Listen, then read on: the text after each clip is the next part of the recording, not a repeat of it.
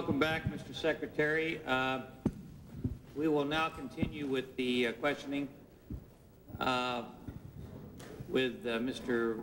Barr of Georgia for 10 minutes. Thank you, Mr. Chairman.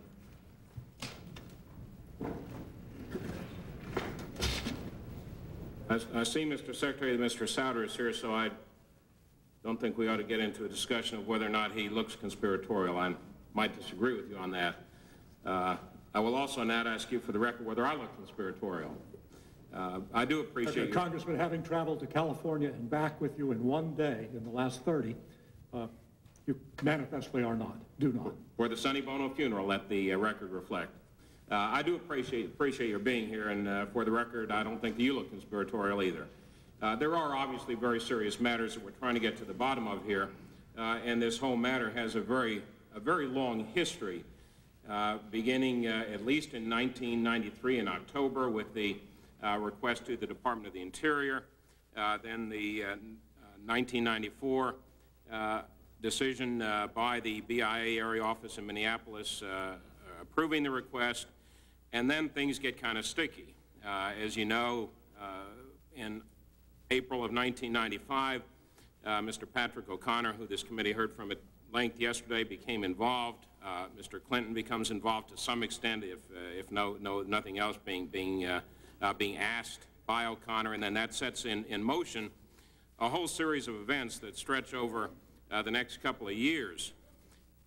we did uh, have already discussed some of the uh, admonitions by people uh, in, in the government, including in the Interior Department and over at the White House, urging folks to be very, very careful of this mess. we have Exhibit 304, the April 24th, 95 memo to Cheryl Mills. we have uh, the also April 24, 1995 uh, memorandum for Harold Ickes uh, from uh, Miss Avent. Uh, both of those, obviously with 2020 hindsight, raised a very legitimate concern that this is really a hot potato and every effort ought to be made to keep politics out of it. Unfortunately, some folks may not have heeded that advice, and that's what really brings us here today. You did discuss earlier, Mr. Secretary, uh, staff, uh, routine staff requests from the White House and uh, so forth. One name that didn't come up, uh, I know that uh, Mr. Waxman uh, mentioned some names also with regard to whether or not certain people had contacted your office or you personally. Leon Panetta was not a name that was mentioned. were you or your office ever contacted by Mr. Panetta with regard to this, this entire matter? Uh, no, I have never communicated with Leon Panetta on this matter. Uh, based on your knowledge of, uh, of the White House and this particular administration and the people that are involved in it, which, which obviously is, is more extensive than mine, uh, if the President of the United States uh, had expressed an interest to his Chief of Staff uh, to inquire into a matter that fell within the purview of a particular department, would that particular department, or indeed the Secretary, uh, be notified that the President has expressed an interest in this, what's going on. Would that be the, in the normal course of, of events? Uh, Congressman, that's an awfully broad hypothetical question, and I guess acknowledging that, uh, the answer would probably be uh, it's not the sort of thing that would come to my attention as a generic matter. I think there's a tendency to underestimate the sort of Niagara of information and stuff that goes on in the executive branch of government. Well, but I'm not, I'm not talking about Niagara. I'm talking about a laser beam. Uh, we're not talking, I'm not, I'm not talking about routine staff requests. I'm talking about a request, uh, and we have copies of this, uh, uh if we could, uh, a notation, a handwritten notation from the President of the United States.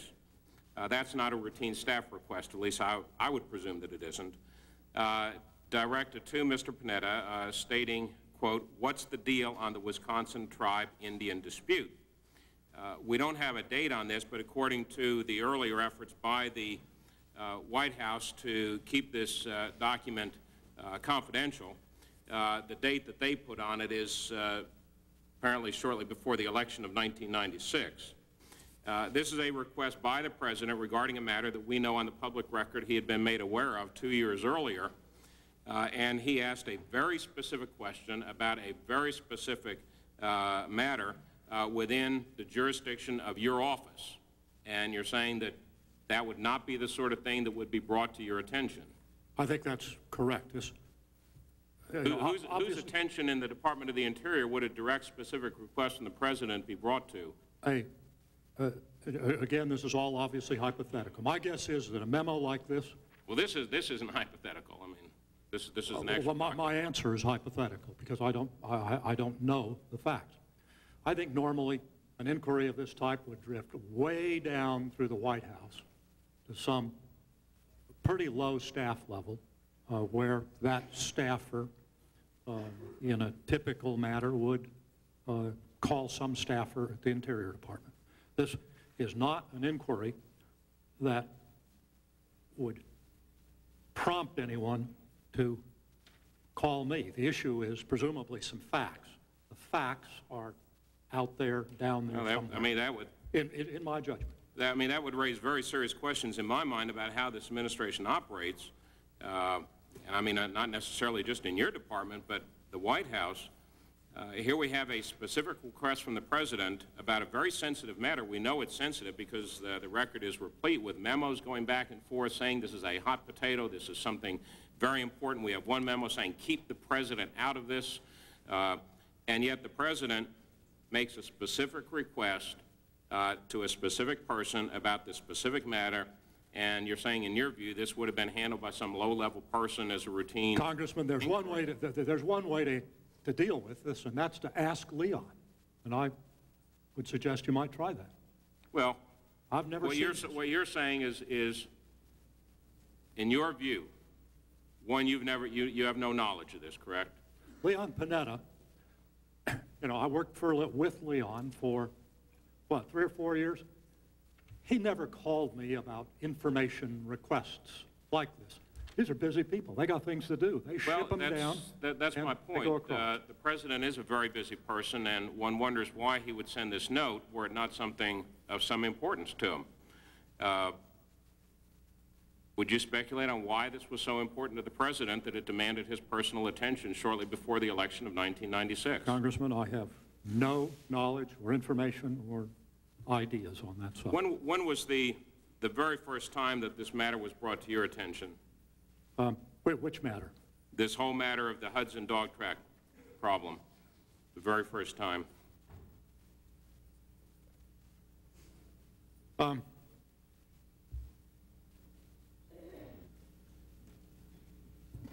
Congressman, I, the earliest recollection that I have from looking back across the record, um, I believe would be the trip that I took to Wisconsin uh, in the fall of 1994.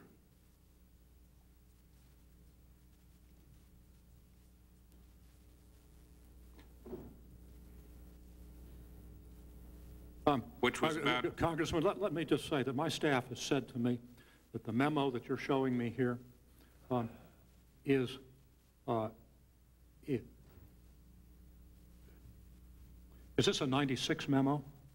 The, the informa, the, the White House did not want this made public, but it, ha- it is public now, not, I mean, before this point. Uh, They asserted uh, privilege, uh, apparently something that could not be sustained. According to their information, which they furnished us, they have an- a date on it, fall 96. Now, if they're wrong, Mr. maybe it's some other time. This is a year after the decision was made. Right. But the President specifically asked about this, and um, apparently it was never brought to your, to your attention at that time. And that doesn't strike you as odd? No. Okay. Uh, A lot of things do strike a number of people as odd, though, about this, uh, this case, uh, including the Attorney General of the United States of America, and including a United States District Court judge, uh, neither of whom uh, anybody could say with a straight face uh, would be part of any right-wing conspiracy or probably any other kind of conspiracy. The opinion, and we do have copies of the opinion, which I presume uh, you all are familiar with, uh, goes through in tremendous detail why this federal judge is concerned. And I know our colleagues on the other side trivialize this opinion. Uh, it should not be. One should trivialize it at their own risk. It is a very specific opinion for a very specific purpose in unusual language because of its bluntness and the detail that the judge places in it. The judge in that case originally had ruled in the opposite as she did here. She says, though, on reflection and on much more careful review of the evidence, some very disturbing questions are raised in her mind about impropriety, including in your office. And I would respectfully invite your attention to this opinion, uh, which I think uh, is probably a lot more problematic uh, for you than your appearance here today, because this is a district court judge, not just a member of Congress. Uh, but this judge is very, very specific uh, in terms of why these questions are very serious and need to be looked into, and I think uh, she is right on point. Thank you, Mr. Chairman. Gentleman's time has expired. Mr. Waxman, you're recognized for 10 minutes. Uh, Thank you, Mr. Chairman. I yield five minutes to Mr. Cummings. Thank you very much, uh, Mr. Chairman, um, ranking member. Um, let's, let's go back to this memo, uh, Secretary Babbitt.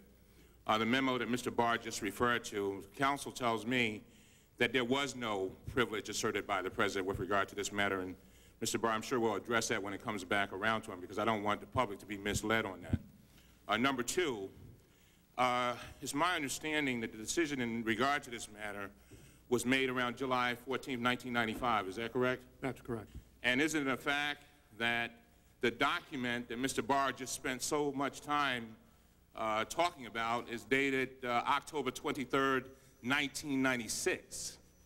Did, are you familiar? Do you have the document? Congressman, uh, that's my understanding. I just wanted to make sure we were very clear on that. Uh, let's go back to that document uh, that he spent so much time with a few moments ago. Uh, it says, uh, Leon, what's the deal on the Wisconsin Tribe Indian dispute? And it's signed BC. I, I guess we can kind of assume those are the president's initials. Um, but it sounds like he didn't know what the hell was going on. And that's a year after, more than a year after.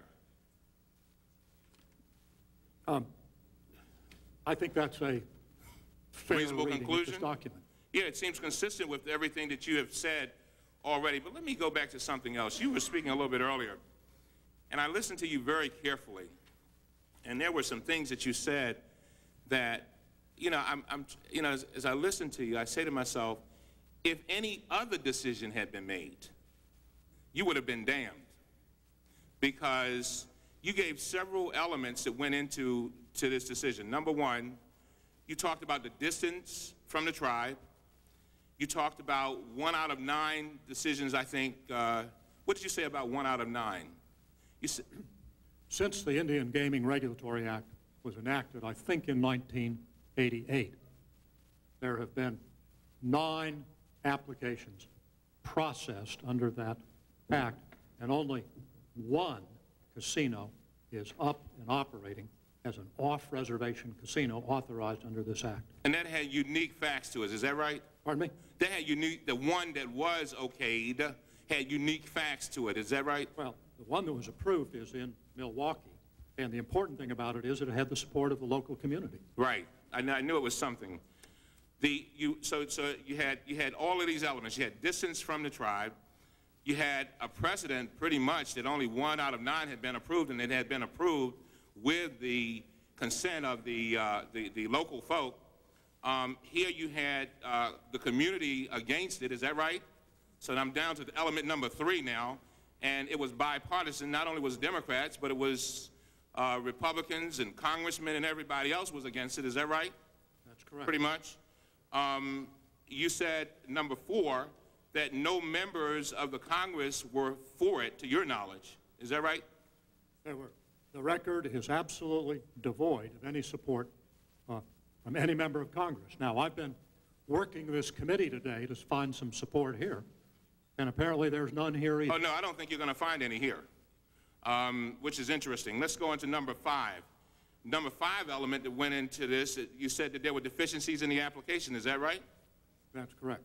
And then you said, you went on to say that Skibine, I think that's how you pronounce his name, uh, his decision was consistent with the final decision. Is that correct?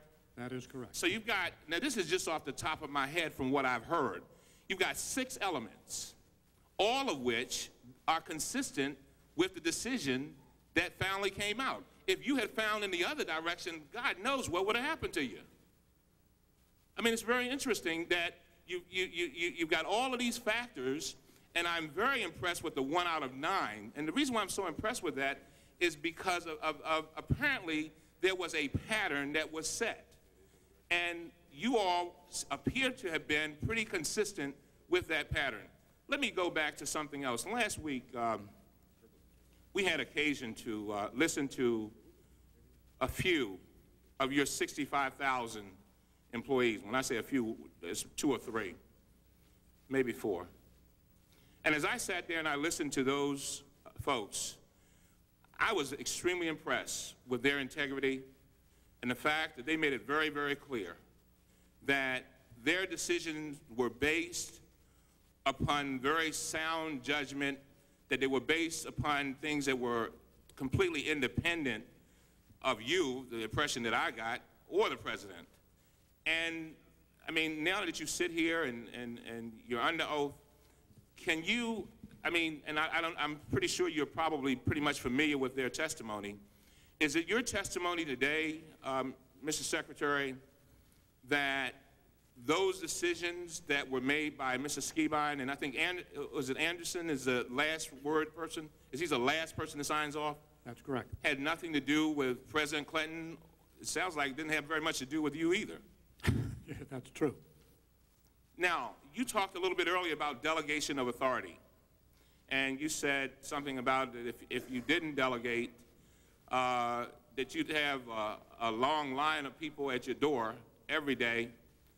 Um, and then a few moments ago, uh, the other, someone on the other side uh, talked about um, the whole question of your delegation.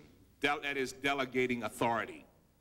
Um, and the question became that if the White House were interested in, in this, why uh, isn't the secretary, the, why doesn't the secretary know that the White House is calling? And I think you kind of chuckled a little bit and said, you know, it doesn't happen that way. Can you happen, tell us the way it does happen? The mere fact that the White House calls someone from the White House, maybe that message never gets to you. Is that, is that what your testimony was a little bit earlier? Well, I would guess that 99% of the communications from the White House never reach me and are never brought to my attention. And the reason is that there is an enormous flow of information in, in information requests in the government. And the people who work in the White House know that the worst place to get an answer is from me at the top, because the people who have the facts are down there. And the I hate to cut you off. normal channels, therefore, go down like that, across, and then back up. Thank you. My, my time is up. I yield back the balance. Thank you, Mr. Cummings. Mr. Kucinich, five minutes. Uh, Thank you very much, uh, Mr. Chairman. I I want to uh, continue on the, uh, Mr. Secretary, I want to continue on uh, the uh, track that my colleague, Mr. Cummings, has has just started, and that is that I want to clarify the record about the department's decision-making process.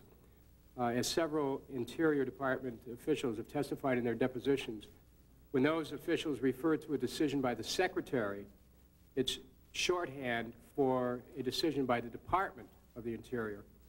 Uh, They would say that the Secretary decided not to take the land into trust, or the Secretary decided to reject an application, and so forth. But what they mean is that that decision was being, um, was being made to whatever official the responsibility, or had been made by, to whatever official the responsibility had been delegated to. Is that, is that That's correct. essentially correct? So let me ask you this, did- and, and just to go over this territory again, to be sure, uh, did you personally make a decision to reject the Hudson application?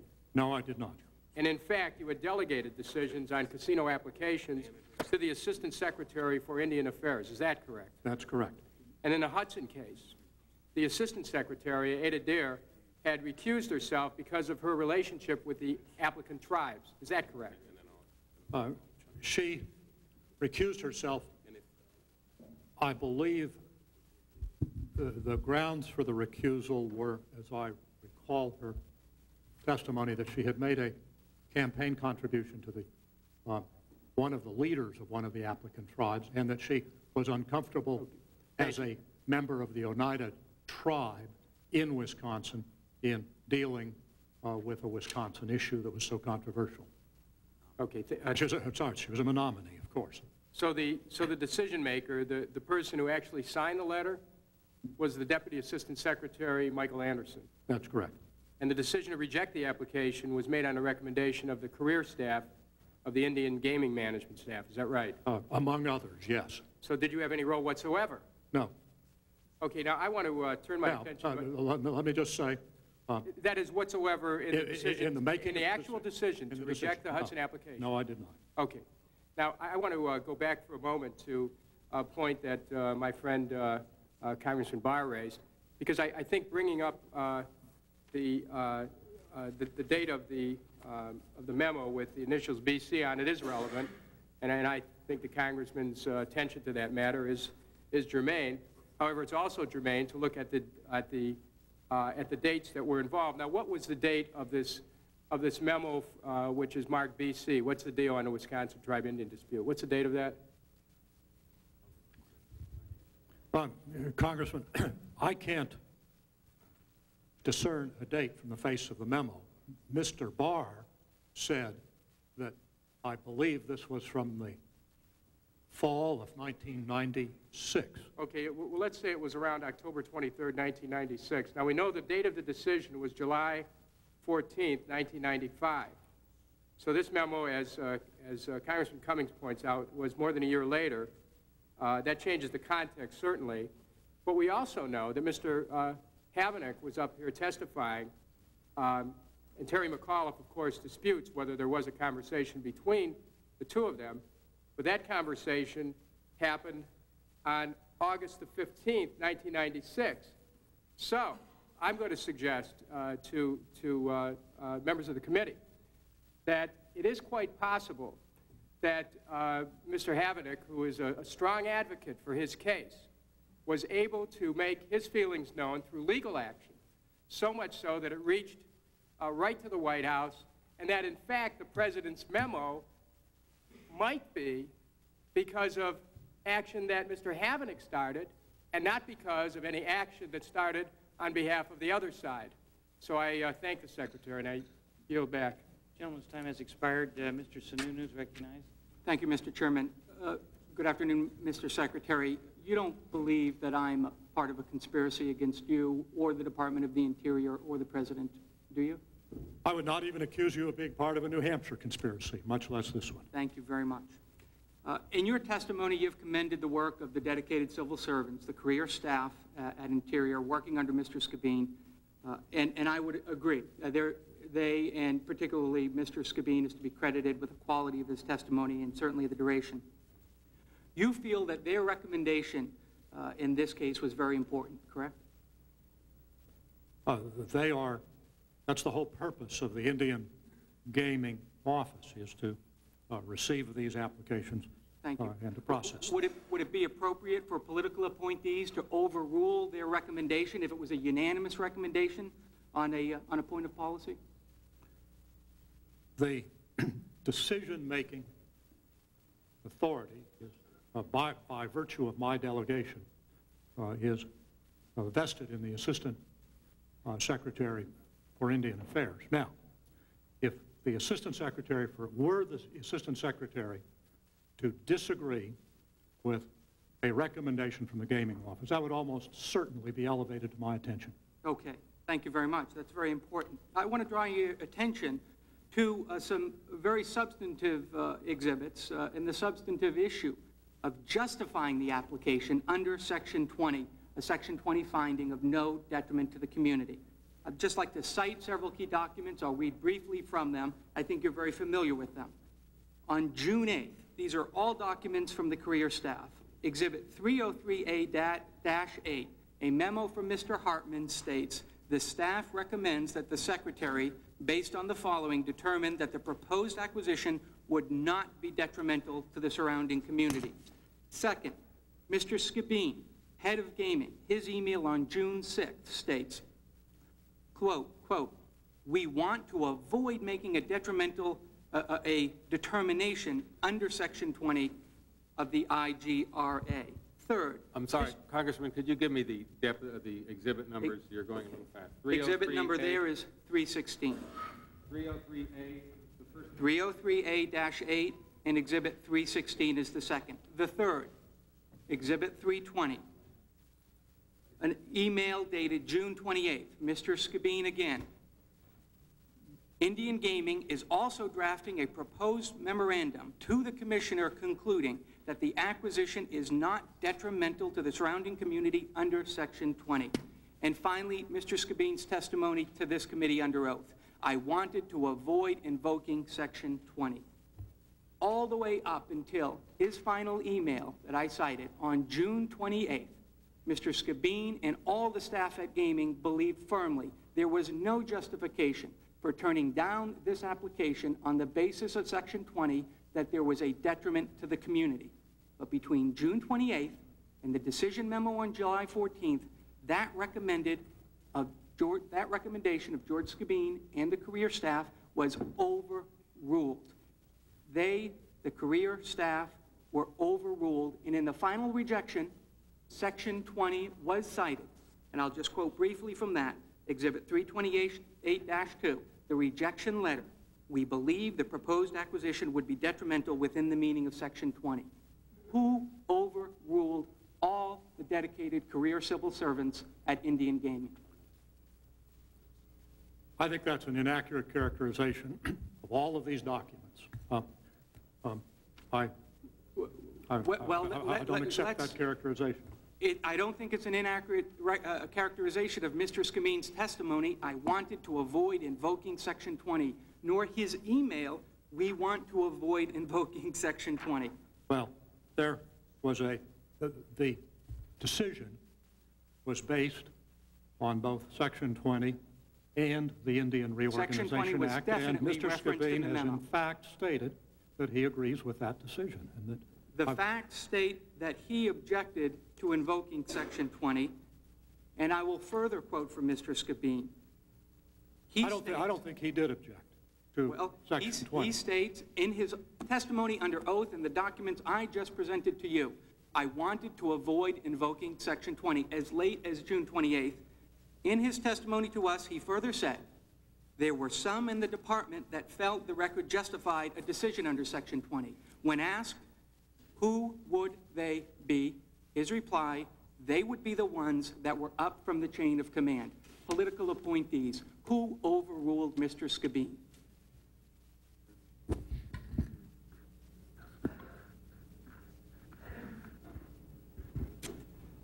Uh, I think John Duffy addressed this uh, yesterday. There was, in my understanding, a pretty spirited discussion. I, I absolutely reject this idea that anybody overruled anything. The record doesn't support that. There's not an iota. of- Well, let me present a piece of evidence that that. does support it directly, and it's related to Mr. Duffy. An email dated July 6, 1995, Exhibit 324, written by Troy Woodward. It states clearly, final paragraph, "The upshot of the meeting was that Duffy wants the letter rewritten to include a further reason for denying to take the land into trust under Section 20." It was in fact on or about July 6th that the decision was made to overrule Mr. Skibine. It was made by Mr. Duffy, and he suggested that they rewrite the decision. I don't think anybody overruled anybody. I think that the record clearly shows that this decision was uh, based on both Section 20 and the Indian Reorganization Act, and that the participants all concurred in basing it on both statutes. The decision does cite Section 20, but the decision to cite Section 20 was made by political appointees and not by Indian Gaming. Thank you, Mr. Chairman. Gentleman's time has expired. Uh, Who on your side? uh, Mr. Mr. Kanjorski is recognized for five minutes. Uh, To carry on that, uh, let the, let the record show that Mr. Skibine testified that he prepared the draft of the final decision before leaving for vacation sometime on June 12th or 13th. And if, in fact, uh, there was a decision by Mr. Duffy to include six, Section 20, that was really going out with a hand to allow the petitioner to have the right of appeal and judicial review. If that had not been included, they would have lost that right.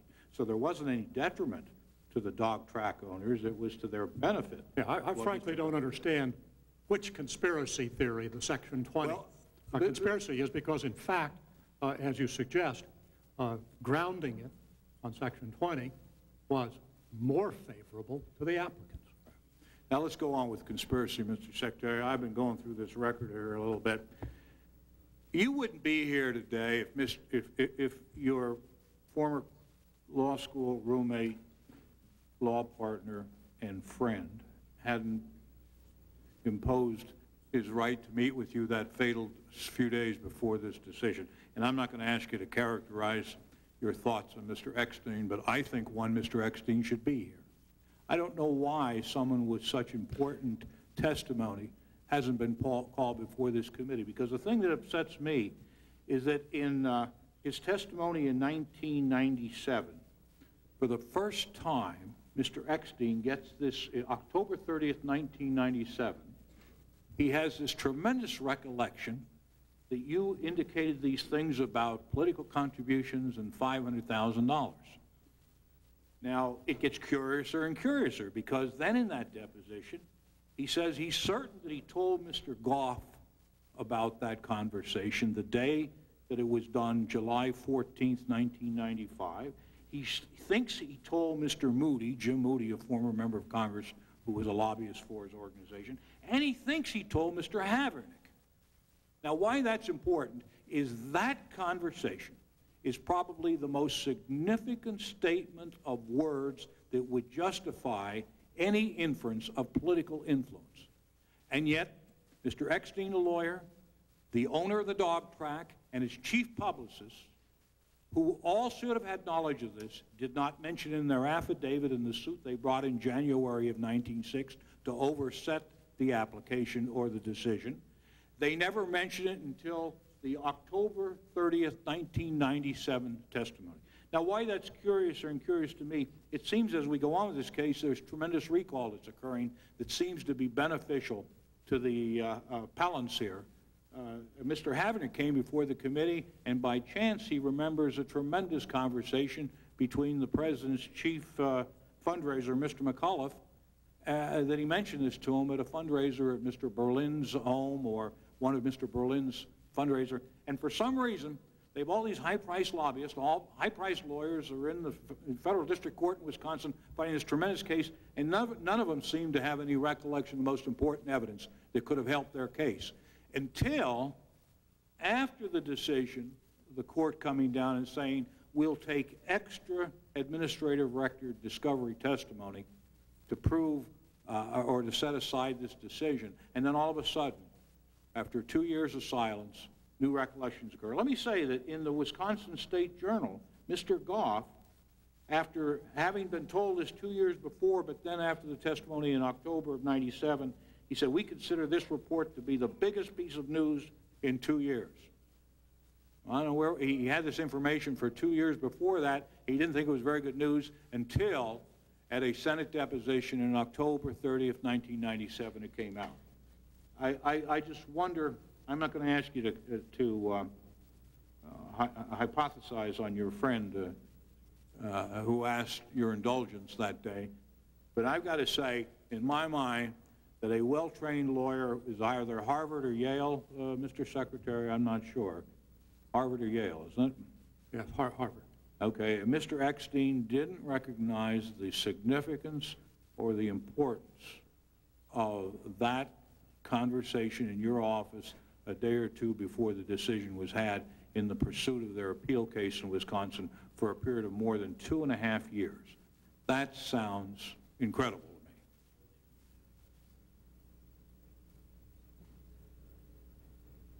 I think that we talked about conspiracies here, and, and I just want to reiterate uh, what is happening as I see it, Mr. Secretary. People are grabbing notes and paper and thrashing around to hang anything. Here we have a conspiracy being constructed on the other side by the President of the United States and his Chief of Staff, Leon Panetta, some year and three months after the decision's already made. Mr. Panetta sends the President a memo uh, on a trip uh, late October into Wisconsin, just before the election, year three months after the decision. The President apparently reads the memo and he says, what's the deal on the Wisconsin tribe Indian dispute? Back to, to Leon.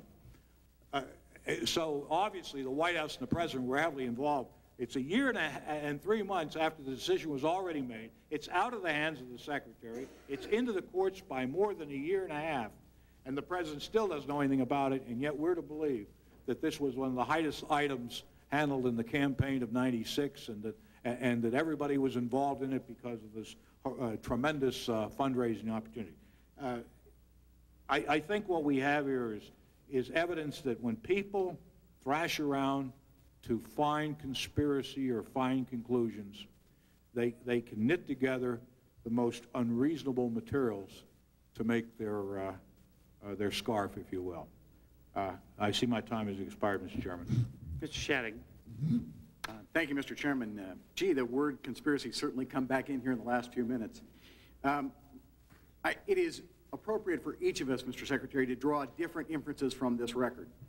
Your adamant assertion that there, that the political appointees in the office did not overrule the career people, I believe, is clearly wrong under this record.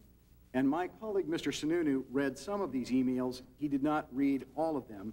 I would draw your attention to Exhibit 327-2, uh, an email which I think very well illustrates this point. point and it is one of the culminating emails, although the same point is made in a later email. It is written, and it says, apparently Bob Andrews, Anders did review the letter late Monday. I checked with him Tuesday, and he thought that since Duffy wanted the Section 20 finding so badly that we would let the letter go in, that we, that's why we let it go in the letter. And then he goes on and says, I still think that there was not enough evidence for a Section 20 finding.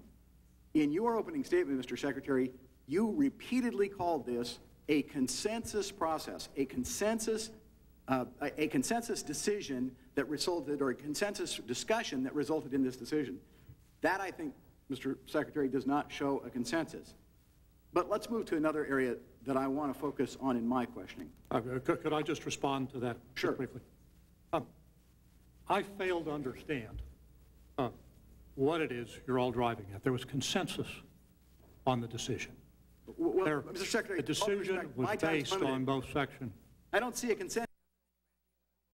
I don't see a consensus Five in this memo.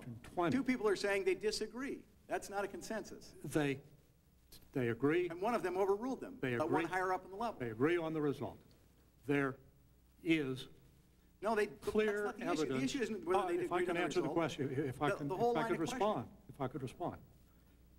There is a, obviously a lively discussion going on, once people have agreed on the result, about how it is you base the decision and the relative role of Section 20 versus the Indian Reorganization Act. Mr. Fine. Mr. Secretary- What does it add up to? My time's limited. I think the record shows that they disagreed, and the emails show that. But I really would like to focus on a different issue. I think you've referred repeatedly to the record in this case.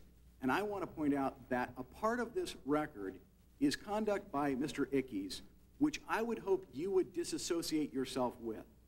Loretta Avent, and I hope you have seen these memos, wrote a memo to Mr. Ickes, it is Exhibit 305-1, in which she makes a clear case that this decision is to be made on the merits, it is to be based on the rule of law, and the White House should in no way get involved, and that it would be political dynamite for the White House to get involved. She writes that memo and she sends it to Mr. Ickes.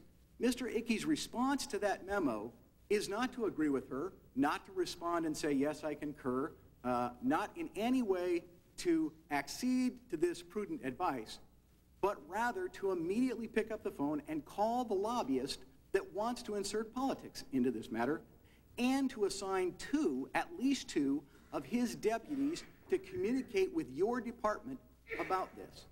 Mr. Ickes then gets a letter, uh, which we discussed at length yesterday, Exhibit 311A, from Mr. O'Connor, the lobbyist, who seeks to inject Republican versus Democrat policies into this debate and say that the decision should go in favor of his clients because they are Democrats and Democrats who gave money. Mr. Ickes does not respond to this letter by saying there is, it would be improper to let politics or past contributions or future contributions to affect this decision. What Mr. Ickes does is to continue to stay involved, to continue to commu- communicate with his staff, and indeed to have a yet subsequent conversation with uh, a member of Mr. O'Connor's law firm, Mr. Schneider, in which he says, I will take care of it, in response to Mr. Schneider's request that he handle this. My question to you, Mr. Babbitt, is don't you believe that Mr. Ickes should have handled this dramatically different? And would you be in the spot you're in right now if, for example, he had responded to Mrs. Avent and said, You're right, we should stay out of this? He had written back to Mr. O'Connor and said, Mr. O'Connor, politics doesn't belong in this. Or if, at a minimum, he had warned his staffers, whom he then directed to communicate with your department, to put a memo in the file, send a memo over to your department saying, we're getting political pressure on this, but we want you to make it on the merits. I think he put you in a terrible position, and I think his conduct was wrong, and I'd like your response to that. Well, you can assemble those facts and characterize uh, his conduct that way. Uh, I don't. Um, And I think that, you know, in fairness, uh, you should direct these questions to Mr. Ickes.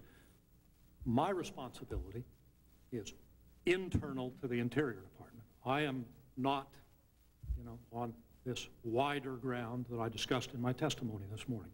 I'm, But your staff communicates with his staff. we've, we've been through that a hundred times. Staffs When talk to staffs. When there are information requests, they've got to go somewhere.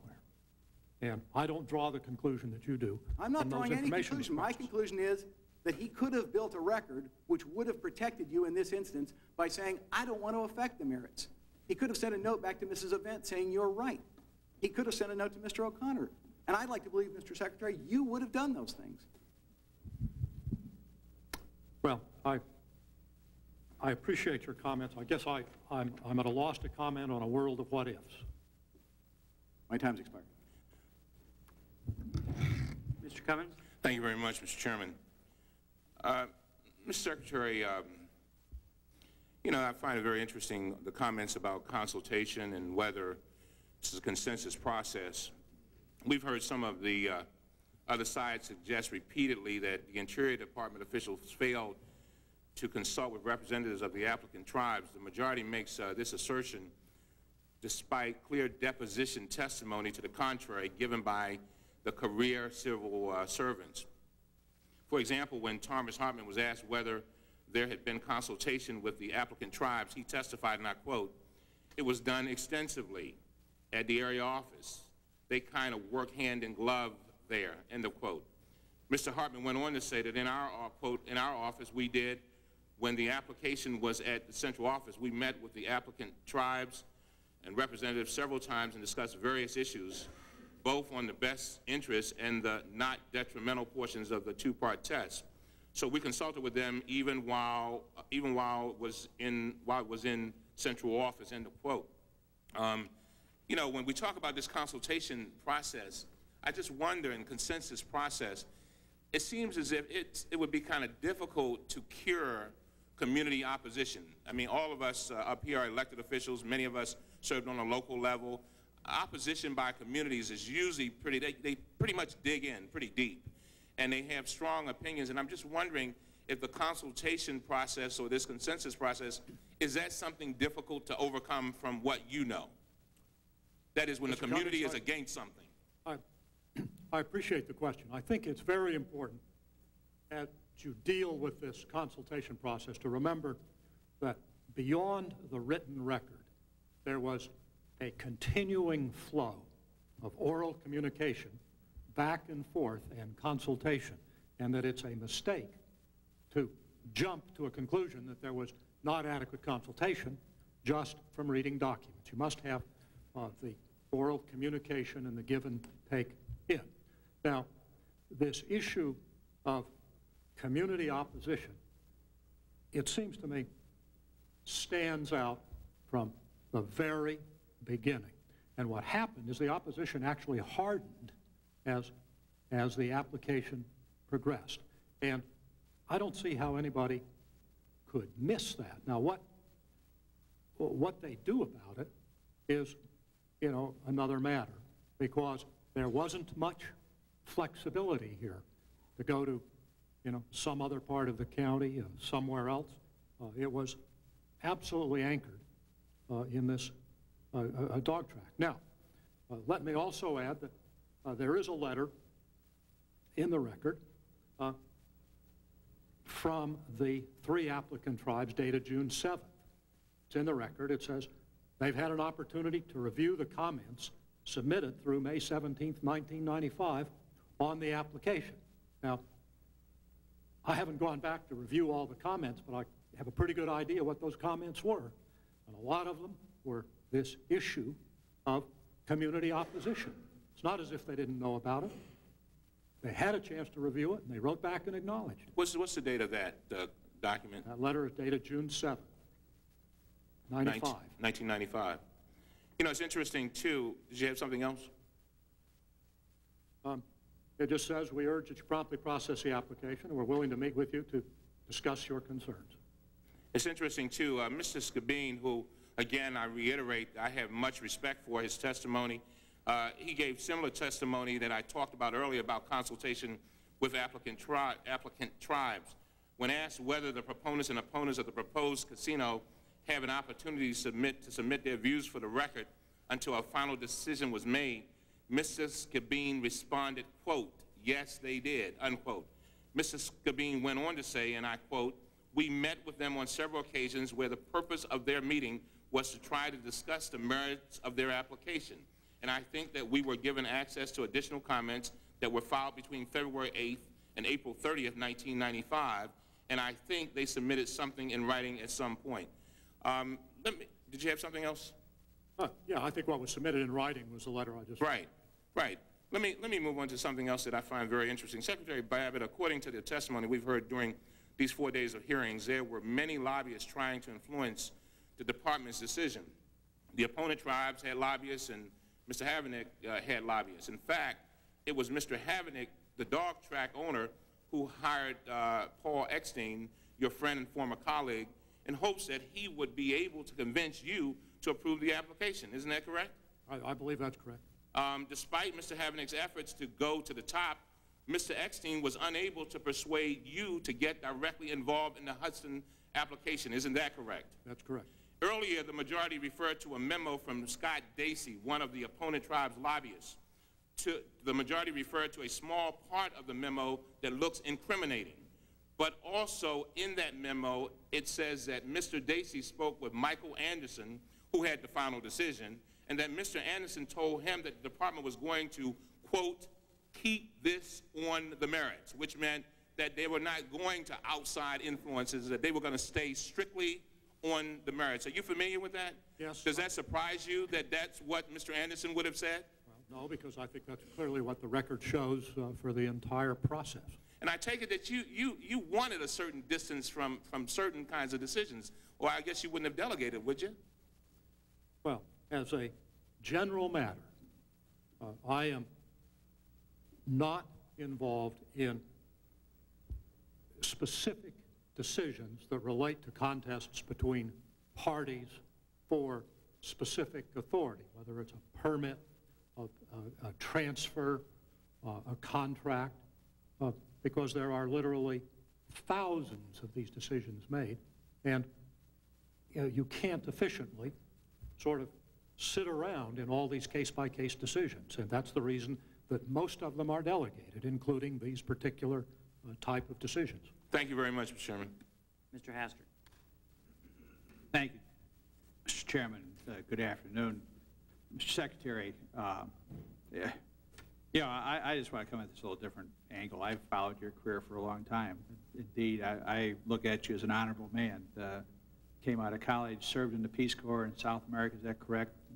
Well, it was a community organization. And Studied uh, economics in Peru, and uh, then went on to be uh, the governor of uh, the great state of Arizona. And, you know, you had quite a credible career. I just a little bit amazed that you'd buy into this thing of, of conspiracy. I, I mean, you got to look at views and what's happened, and I, I would hope that we all agree there's no conspiracy here. We see facts different, and we're trying to build on that. I'd like to ask you a couple questions, first of all. Uh, would you agree, at least the data that we have, that on uh, September 14th, 1994, uh, there was, by the Department of Interior document, the finding of no significant impact, and that was prepared by the Ashland office. That was a local office, and they approved basically the recommendation, said there's no negative impact. And then on November 15th, 1994, the area office recommendation in Minneapolis said that there was no negative impact and uh, that application for a Class 3 gaming facility at Hudson satisfies Section 20 of IGRA, and that was basically approved. And then in April 20th of 1995, the area office recommendation in Minneapolis and the uh, Bureau of Indian Affairs basically said, again, under 20, uh, Section 20, they would approve it, because there's no uh, negative impact. And then there's a draft memo from the Indian Gaming uh, Management staff, and the staff recommends that the Secretary, based on the following, determine that the proposed acquisition would not be detrimental to the surrounding community, and that was under Section 20. And then uh, there's a draft uh, memo we have undated uh, from George Skibine to the Assistant Secretary of Indian Affairs, and the staff recommends that the Secretary, based on the following, determine that the proposed acquisition would not be detrimental to the surrounding community. And in fact, even in the surrounding community, you talk about the overwhelming uh, people that were against it. Well, there were basically uh, 71 letters from Wisconsin folks, uh, 19 letters from Minnesota, and 37 letters from people in other states that were against it. But for it, uh, we had a 69 letters from, from Wisconsin and 19 letters from other states. So, and a number of people, including state senators and mayors and county supervisors and other folks that were for this thing in Hudson, Illinois. Or, I'm sorry, I'm portraying myself, Hudson, Wisconsin. And um, so we don't really see an overwhelming give or take. I would say that's what the record shows. My question is, and I think it was unfair to you this morning, uh, uh, Chairman Waxman, or former Chairman Waxman was here, and you know, talked, started talking about white lies, and you say, well, what I said might have been a white lie. Well, I, I wouldn't ever want to portray it in that sense, but quite frankly, you know, we have to try to sit here and determine what are white lies and what are gray lies and what are brown lies and what are black lies. I just want to ask you, this Eskin is an old friend of yours, his law partner, and do you think he's an honest man, in your opinion? Yes.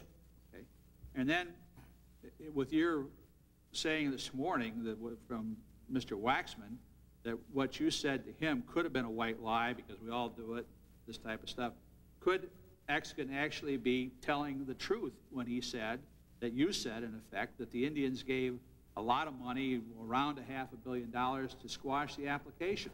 Uh, I, I, I- don't think that's Well, that was a characterization correct of uh, of what you said, uh, what uh, he said. description of what he said. That's a characterization of what he said Yeah, but I don't think that's accurate. well, that's not word for word. You want me I- to I- read it word for word? Yeah, uh, I think that would be Sure, I would be happy record. to do that.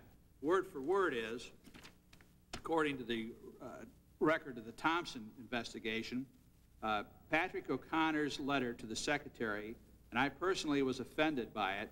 Uh, I couldn't believe that anyone would make the allegations in that letter seriously, and the secretary said at some point when we were standing up, asked me rhetorically, do you know how much, comma, I believe it was these tribes, but I cannot be clear in his words uh, to me what those tribes meant, referred to. Whether it was some specific tribes or tribes at gaming facilities on their reservations, had contributed to either the Democratic Party or the Democratic candidates to the DNC.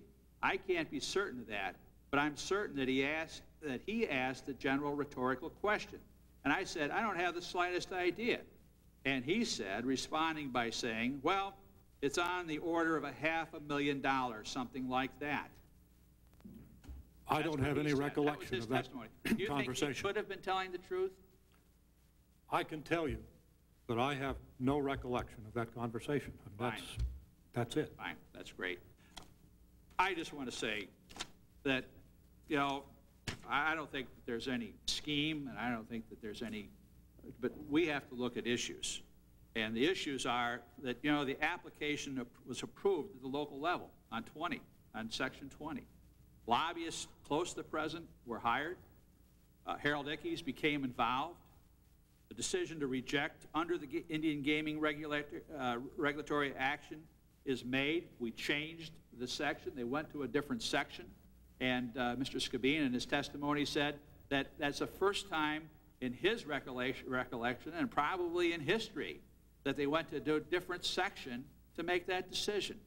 So, Mr. Secretary, I appreciate you being here, and I certainly, in your shoes, it's a tough thing to do. You are an honorable man. But we have to make some conclusions from the facts that we have before us, from the testimony uh, that was given in this committee and other committees, especially in the other body. And, uh, you know, we'd like to come down to the bottom of this thing and find out just what the connections were. And that's all we're trying to do is our job. And I appreciate your testimony. Gentleman's time has expired. Uh, Mr. Kucinich? Thank you very much, Mr. Chairman. Uh, And I would also like to voice uh, an agreement with my colleague in saying that uh, we believe that the Secretary is an honorable man. And I know also there's such concurrence in this committee that the right decision was made. So we are making progress and agreeing on some things here. Now, uh, part of the problem in hearing, in gathering information, you can't have different interpretations of, of facts. People look at the world in different ways. Uh, we recently heard an interpretation of contacts between Mr. Ickes and the Interior Department staff. I've heard um, many different interpretations by members on the nature of those contacts. I would just like to point out uh, to the chairman that sitting in the audience behind the secretary is his assistant, uh, Heather Sibbison, and she was the person, if I'm correct, who responded to the status request from the White House. So uh, rather than, we can actually be spared the burden, and it is a burden of characterizing what happened during those contacts. We, we actually have an opportunity now, uh, if, if, the, if the chair would uh, be so pleased, to uh, hear directly uh, from uh, Ms. Sibbison. And uh, would the chair, uh, do you have any uh, willingness at all to hear what she has We, to say? we uh, have deposed uh, Ms. Sibbison, and uh, we have the information that we needed for this hearing. We, uh, the problem we had is we had to schedule the hearings over a four-day period, and we had to make sure that everything fit into that schedule. So, but, but we did, uh, we did uh, depose her, and we have the information that we think. I, I I would, uh, and, and it's, it's, I'm sure it's helpful to have deposed her, and I could just say as a member of this committee, I think it would be helpful to the committee if uh, we had the advantage of listening to her testimony, but again, you know, the chair uh, has the authority to do that, and I understand that, and we understand that. Um, Now, I've heard many members uh, reassure us they're not on a, on a witch hunt, they just want to find the facts, and I'm at a loss to understand why she hasn't been called, because um, she could tell us the simple truth, which I, I, I believe is that the calls from the White House were status inquiries from low-level staffers and volunteers. Um, you know, it would be nice to hear from her. It would be nice to hear from Mr. Ickes, uh, from um, Hilda Manuel, Congressman Gunderson, uh, Governor Tommy Thompson. I, I, I hear, I, I feel like we're having a party here, but we're not inviting all the, all the guests. Um, now, there's a few other points here that, just to put in the record, uh, we know, again, that the, that the decision uh, came down in 1995, I believe it was in July, and we also have here from the record the uh, briefing papers for the president on uh, September 1st, 1996, where in this uh, it points out that uh, this is uh, the paper right here, Mr. Babbitt, where it points out that the administration has been criticized for a Department of Interior decision that affects Indian gambling in northwest Wisconsin. one tribe was denied permission to expand its casino. It sued the United States, alleging other things, uh, among other things, that the White House staff improperly influenced the Department of Interior's decision. Uh, and this uh, uh, is, uh, it says Bob, can't make out the last name, uh, uh, DNC Finance Council represented the aggrieved tribe. Now, um, that's that direct quote. Now, that's part of the, of the record which briefed the president. Then, as a result of getting this briefing, the president then writes, and again, this is um, uh, a year later, uh, what's the deal on the Wisconsin Indian dispute? He writes this to Leon Panetta. On October 21st, 1996, Leon Panetta responds to the president's uh, memo uh, saying, in response to a note in a background memo for your visit to the Green Bay, uh, which, uh, Milwaukee area, you inquired about the status, status of a dispute uh, between the Interior Department and Native American tribe in Wisconsin. And then he goes on to talk about an attached uh, memo. Th these, these are all, I believe, in the record right now. I just wanted to make sure that the sequence was clarified. Now, I'd like to turn my attention, uh, Mr. Secretary, to some other testimony. This committee has heard from the dog track owner who, who needs a casino to, uh, to save his business. And we've also heard from representatives of Indian tribes uh, that, that um, uh, the dog track owner needs in order to uh, bring a request for an off-reservation casino. Now, we know for the record that the Department of Interior, in evaluating the dog track, the dog track owner's business proposal, had to consider a preponderance of evidence that the community around the uh, dog track opposed the casino. Uh, here's what I'm wondering. You know, as someone who's very concerned about the effects of government policy on local communities, I was wondering what would have been the policy implications if the department had decided to allow tribes to go 80 to 200 miles off their reservation to open a casino against local opposition. Well, had, had the department in these, on these facts approved this, there would have been a firestorm, not only in the community, but in the United States Congress. Um, and I think John Duffy, I did not hear his uh, testimony yesterday, but I know that this was a concern of his all along, and it may in fact account for some of this ongoing discussion about Section 20 uh, versus the Indian Reorganization Act, because um, we were very concerned to administer this act in a way that was consistent with what we think Congress intended. And Congress could not have intended to, uh, you know, have us administer uh, this act in a way that would simply create a firestorm uh, every time one of these things uh, came down the road. Well, you've established... Gentlemen, gentleman's time has expired. Thank you, Mr. If you want to go another round, we can. Thank you, Uh, Mr. Chairman. Gentleman from California, would you, would you yield to me just uh, real briefly? Certainly. Gentleman's yielding to me real briefly. Uh, It's my One minute. Understanding, uh, Mr. Secretary, that there was a case involving a, an Indian casino where land was put in trust some 300 miles from the tribal lands in Greektown, uh, Greektown, I think it was in Detroit, Michigan. Uh, Is Mr. that- Chairman, is that was, uh, that's the uh, Sault Ste. Marie Detroit case, and it had strong local support. But it was 300 miles away. That's correct. Thank you. Thank you, Mr. Chairman. Uh, I'm curious, uh, Mr. Secretary, I read your uh, statement very carefully uh, last night and uh, again this morning, but when you delivered the statement, it was quite different. Was that gone over by people in the White House to rewrite? We had rather colorful language there. I think even conspiracies might have come up. Uh, Did you consult anybody in the White House? Did they clear it? I have consulted no one in the White House. How about the. Department of the Interior? Well, certainly, I had... I mean, it's a uh, complete That rewrite. statement, I appreciate uh, your eloquent. appreciation of the eloquence of the statement.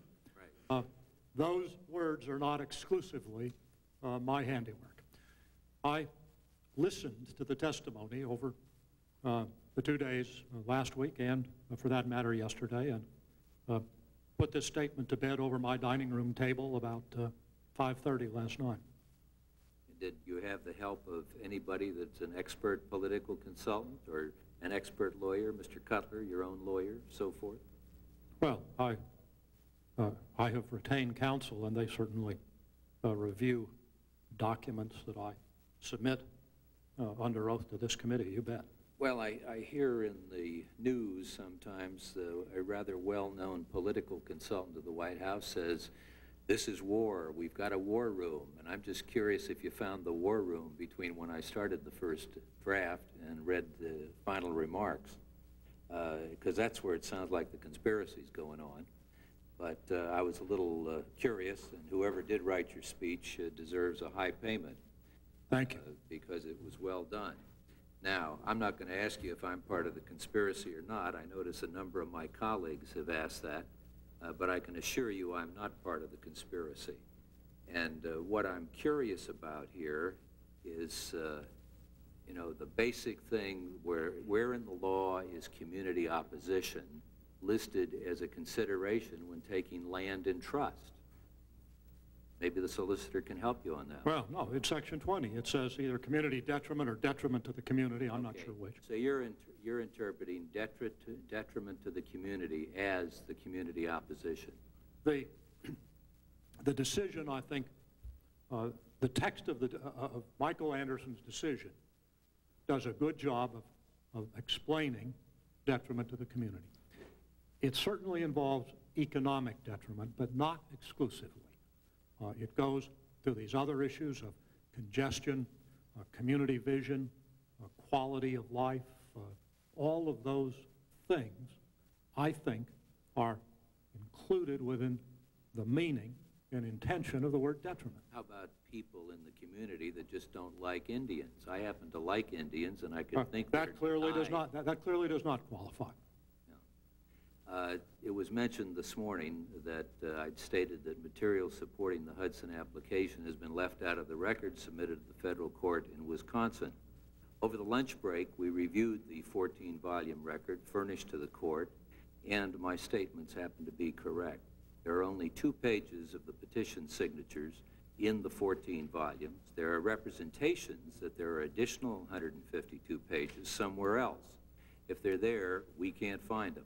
However, the Well, we're getting close. We've at least agreed on two pages. uh, No, uh, it's uh, more than that. Uh, You do have two pages in there, however.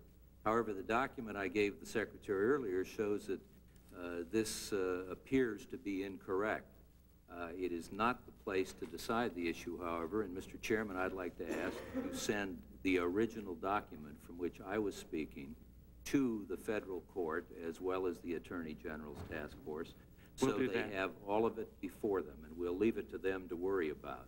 We'll do that. And and would you, would you yield to me briefly? Yes. Mr. Chairman, could I, could I, could I uh, uh, explain in response to the question about, uh, did, did we submit the full petition? I'm told that Mr. Hartman actually converted the petition signatures in, that, that were in handwriting uh, into a computer printout, and that is in the administrative record. So the form of the petition that the congressman uh, submitted this morning is in the administrative record. It's just in typescript for more legible reading than in handwritten form. Add a minute back on the clock. Counsel, I have told every witness who testified that they uh, are uh, allowed to communicate with their counsel, but the counsel is not to respond to the committee. You are to uh, respond to your client, and uh, he's to respond to the committee. And so if you have an objection or something, I, I, I- you're proper to make it, but I wish you would make it through uh, Mr. Babbitt. Let me just say, since we now have uh, back on, back on the time, you said there was detriment to the community. Let me just say that there was a dog track already there. They had 8,000 parking spots. The estimate was only 4,000 of those parking spots were going to be utilized, so that you weren't going to have the, the impact that you would have had with the gam, with the horse or the dog track that was already there. The environmental impact study had been approved at the local level. An environmental impact study, when the dog track was first put there, had, had been approved some time back. So gambling was already in the play, in the area. Now, regarding the im- economic impact on the community, the tribes in question had already a- agreed to give 1.1 or 1.2 million dollars to the local community to take care of the infrastructure problems and the sewage problems and others that might arise. So when you talk about detriment to the community, I'd like to, un- I'd like to understand what you mean, because there was already a gambling facility there, had 8,000 parking spots, only 4,000 of which were going to be utilized. They'd already reached an agreement with the community on the infrastructure problem by giving them a guarantee they'd pay them for it. So what was the detriment to the community? Mr. Chairman, I, I was watching when you had this dialogue with Michael Anderson last week. Right. And there was a rather thorough discussion of it. I would add only this. I got to tell you, I don't think it's exclusively for you and me to sit around haggling about detriment to the community. I think the city council of Hudson, Wisconsin is the correct presumptive place. There was a Turn. referendum that passed prior to that, Mr. Secretary. So there's a mixed bag there. Let me just say There was, a- there may well have been uh, uh, Let me, changing attitudes was a during that. But during the time that this was under discussion, the fact is that the Hudson City Council had on record a resolution adamantly opposing this application. four to two, four to two. That's and it was correct. after the referendum passed. But let me uh, just say this to you, Mr. Mr. Secretary. That is a subjective judgment on the part of what we believe to be political appointees who may have been influenced by political contributions. And that's what we're trying to get at. Mr. Duffy, if you read the record and you see that he was involved deeply in the decision-making process, Mr. Skibine mentions that in his, in his, uh, in his memo, which you guys tried to claim, claim privilege on, which we did put in the record and is public, in the public domain, because the people have a right to know. Mr. Skibine says very clearly, Mr. Duffy, a political appointee who's now benefiting at a law firm by representing one of the prevailing tribes, the Shakopees, he was involved in that decision. And so it's a subjective thing. And it really bothers me that you keep saying, well, it was a detriment to the community when there's no real evidence to that, to verify that. Gentlemen, I thank the gentleman for yielding. Thank you. That's all, Mr. Chairman. I think you're absolutely right on the track. Uh, who's next on your slide? Oh, this is the second round. Uh, Mr. Barr? Is Mr. Barr? Uh,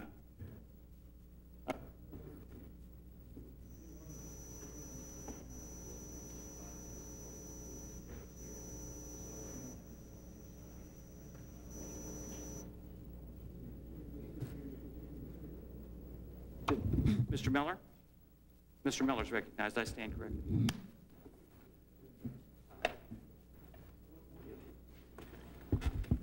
Mr. Chairman, thank you for yielding. Let me, uh, if I may, yield my time right now to Mr. Barr. Thank you. Uh, Mr. Secretary, I'd like to go back to the, uh, the court opinion uh, to which we were referring to earlier, and which is uh, a part of the record, uh, the opinion of, of Judge uh, Crabb in this case. Uh, As I indicated, uh, although there were, is a continuing effort to trivialize the opinion, uh, the judge, I think, was very specific and very deliberative in the words that she used. Uh, Yes, we all understand, those of us who are familiar with court proceedings, and I know you are, uh, that this document does not re- represent the results of a trial on the merits of the case. It comes at a, at a prior time. But the burden that was to be met by the plaintiffs in this case, that is the, the Indian tribes, uh, the defendants being yourself and the other uh, government officials, was a very high one because they, the plaintiffs, were seeking to go beyond normal discovery proceedings. And uh, the presumption of the court is not to allow that. And that is indeed the judge's initial decision was that uh, at page uh, four, plaintiffs had not met their evidentiary burden, and therefore the court granted defendants' motion uh, not to allow more extensive discovery to go into the allegations of improprieties that plaintiffs believed were relevant to their uh, presentation of the case. The court correctly indicated that a strong showing requirement uh, would be necessary before she would rule in plaintiff's behalf. She did that. And the reason that she did that uh, is because she believed after reviewing evidence extensively uh, that the plaintiffs uh, indeed uh, met their burden. And as part of her background, as you can see from reading through the opinion, as I presume you have certainly, uh, she makes some, some very important comments about conspiracy theories. We've been talking about that, and, and by coincidence, the judge addresses that. And she says at the top of page six, six quote, although I am reluctant to accept conspiracy theories of government, it would be naive to think that abuses of power never take place or that government agencies never accede to strong political pressure. Drawing on all reasonable inferences from the undisputed facts in plaintiff's favor, I believe there is a distinct possibility that improper political influence affected Anderson's decision on plaintiff's application, close quote. The court then moves through a detailed analysis of the evidence that sustains her conclusion and plaintiff's request, uh, including uh, possible uh, contacts uh, between John Duffy and others uh, in the Department of the Interior uh, and plaintiffs in February 1995 without notice to the plaintiffs, which is unusual.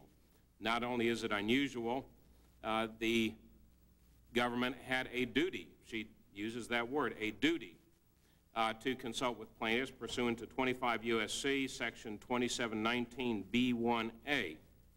She concludes, this is not my conclusion, it is the court's, the delay suggests that the department did not contact plaintiffs because it was not interested in allowing plaintiffs to remedy the problems. Later on, she contrasts that with another application in a different case, the Mashantucket Pequot decision, uh, which she believes, at the bottom of page 8 of her decision, is relevant to plaintiff's attempt, in this case, to show political impropriety. She says that in that case, the Pequot uh, tribe case, the department, that is the Department of the Interior, approved the tribe's application even though there was strong local opposition because the tribe had made a good faith effort to address those concerns. Thus, she says, local opposition is not always fatal to an application like plaintiffs. She finds that the department's willingness in the subsequent decision, that is May 1996, to approve an application that evokes strong local opposition when it found that such local opposition was fatal to plaintiff's application. In this case, she found that to be, in her words, disconcerting.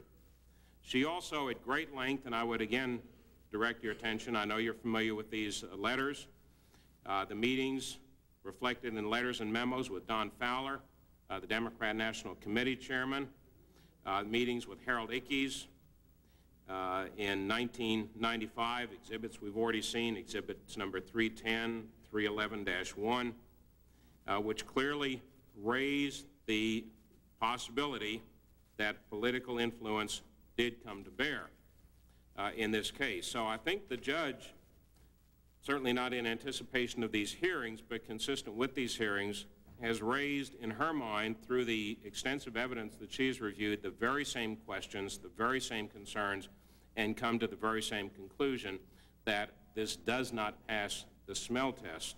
And I would again uh, respectfully urge uh, careful study of the, the judge's ruling. I thank the chair. Uh, Congressman, could I uh, respond to that? I, I, certainly have no problem with that. I'm at the court's uh, at the uh, at the court's discretion, at the chairman's discretion on on the timing. Um, I'm I'm inclined to go through uh, that point by point, but perhaps uh, what I can do. Pardon me. Of course, you can resp respond, Secretary. We'll give you all the time you need. Thank you. Um, once again, the judge's ruling as I understand it, is on a motion to expand discovery beyond the written record. And that, in fact, involves a fairly low threshold in which uh, she is uh, viewing uh, the allegations, as she says, in the plaintiff's. But you would agree a fairly high burden on those seeking to no, I, I, I would actually, I would actually disagree. I would actually disagree. It's a fairly low. Well, you and I have a different, different reading of the, the rules Yeah. of civil Well, I think procedure. expanding discovery uh, beyond a written record is hardly an unusual thing to do. And of course, that's precisely what has happened here in this committee, and it's precisely what happened in the Thompson Committee. You have had uh, the occasion to make a record of testimony that has nowhere appeared in her court. Now, let me just give you uh, uh, one or two examples. Um, the, the opinion talks about the delay in contacting plaintiffs. George Skibine was questioned about that, and he testified in very clear and convincing fashion as to what that was all about. Uh, the Crabb opinion uh, deals with the issue of the Hartman Memorandum. That issue has scarcely been mentioned today, and the reason is that after weeks of bandying about conspiracies over the Hartman memo, Skibine and Hartman sat side by side and explained what that was about. It didn't keep a couple people here today from once again mischaracterizing it, but the issue has been absolutely, unequivocally laid to rest. Um, Judge Crabb, on the basis of the plaintiff's allegations, um, raises the issue of Ada Deer's disqualification. That was an earlier conspiracy theory being peddled by the Thompson Committee. Ada Deer has testified clearly and unequivocally about her recusal. Now, uh, in aid of the, this committee, you've at least dropped that one. I didn't have to deal with that one today. Now, lastly, um, a word about the Pequot uh, uh, allegation. The fact is that the Mashantucket Pequot Trust issue did not even involve the Indian Gaming Regulatory Act. It didn't even apply. It was a piece of land adjacent to the reservation, taken into trust for a parking lot. Well, enough. I just suggest that this committee ought to pay more attention, not to what's being alleged in preliminary discovery in a federal court, but what has been laid out here in extenso for the last four days. I'm, I'm paying attention to, to the words of a United States District Court judge, Mr. Secretary, and, and I would also note for the record that one piece of evidence that she did not have before her uh, was your subsequent testimony and explanations and Mr. Eckstein's. Yeah. M- Mr. Barr, your time has expired. We'll Thank you, Mr. Chairman. Mr. Kearney? Thank you, Mr. Chairman. Mr. Secretary, I want to thank you for spending the time that you've spent today and answering so candidly uh, to the many questions put before you. Uh, I might just add as a little follow-up on the most recent conversation that having spent 20 years as a trial lawyer, uh, that I would agree that your perception that the judge is at a very threshold stage in discovery and with our expanded discovery today, uh, did not have much of a burden to put that matter on for further fact-finding. Uh, and in essence, after having listened to much over the last four days as the facts develop, uh, I don't think that these hearings have necessarily been about putting matters to rest. Uh, you are, Mr. Secretary, by now familiar with the fact that Heather Si- Sibbison, a staff member of Interior, was the person who would have had contact, if any, with the White House. That's correct. And uh, at what level of a staff uh, person is Ms. Sibbison? Uh, she was hired as an assistant to John Duffy. And do you now know that she was questioned under oath in a deposition some time ago? Uh, I have, I have read her deposition.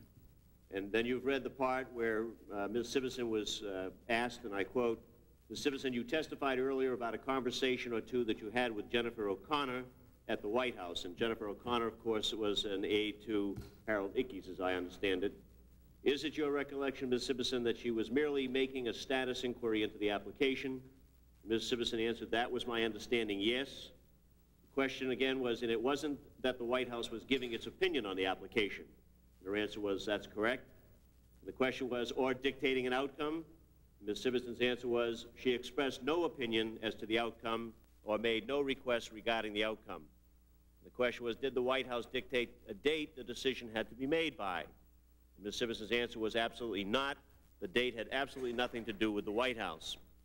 Now, I just made those quotes, Mr. Secretary, because I understand Ms. Sibbison has not and probably will not be called before this committee as a witness, and so I use that as somewhat of the basis of my comment that I think this hearing has been far from putting things to rest. Is that your understanding of the colloquy that went between the questioner of the staff and Ms. Sibbison? Uh, th- That is my understanding, but there are two parties who could shed light on that, Jennifer O'Connor and Heather Sibis. And neither of them have been called by this committee, is that correct? It's my understanding. And to your knowledge, would that have been the only contact with regard to this matter between your department at any level and the White House at any level?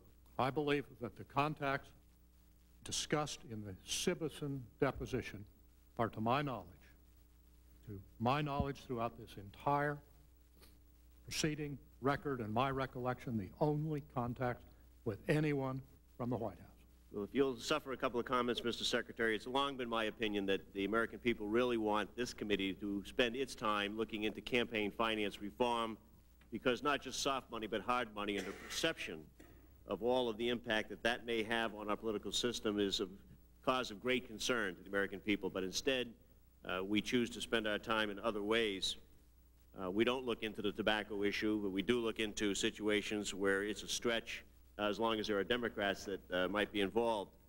It seems to have come down then to a question of credibility. So if I could close my time out, Mr. Secretary, just by asking you for a little bit of your background, sir. How long have you been in public service? Uh, for approximately 23 years. And uh, at what level did you first uh, begin as a public servant? Um, I was elected uh, Attorney General of Arizona And how many years did you hold that position? uh, for about, uh, it was about three years. And what happened after that? My, uh, the the governor was appointed to become the ambassador to Argentina, uh, and the lieutenant governor uh, died of a heart attack in the middle of the night, and I was next. So you're lucky your days. So I became governor And how long did you serve as governor? uh, for about nine years. How many terms was that? Uh, That'd be two plus. And after you were governor, sir? Uh, I ran in the Democratic uh, primaries in uh, 1987 and 88, For president. president. And after that? Uh, I went home. And now you've recently been serving in the interior, is that Yes. correct? All right. Now, during any of those times that you held public office and had to campaign for that office, did you obviously have to uh, get involved with raising funds for your campaign? Yes. Now, sir, on any time that you held any of those public offices, uh, did you ever make a decision with regard to policy based on any matter having to do with contributions made to your campaign during the elections? Not to my recollection, no.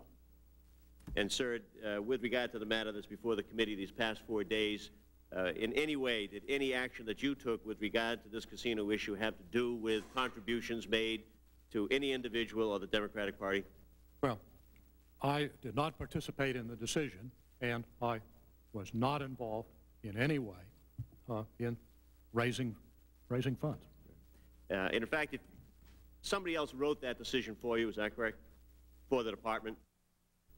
Well, yes, I think the record shows that the decision signed by Michael Anderson uh, was drafted uh, by George Skibine and then reworked, to, as, as I understand the record, um, uh, edited and reworked by John Duffy and various other uh, people who were in the process uh, to uh, work, and Michael Anderson for that matter. So if you were going to have any undue influence on the results of those people's work, you would have had to go to each of them, get them to do something that they might not otherwise be inclined to do, uh, and then, of course, they've all testified in front of this committee, and we would have heard about it. Is that correct? That's correct.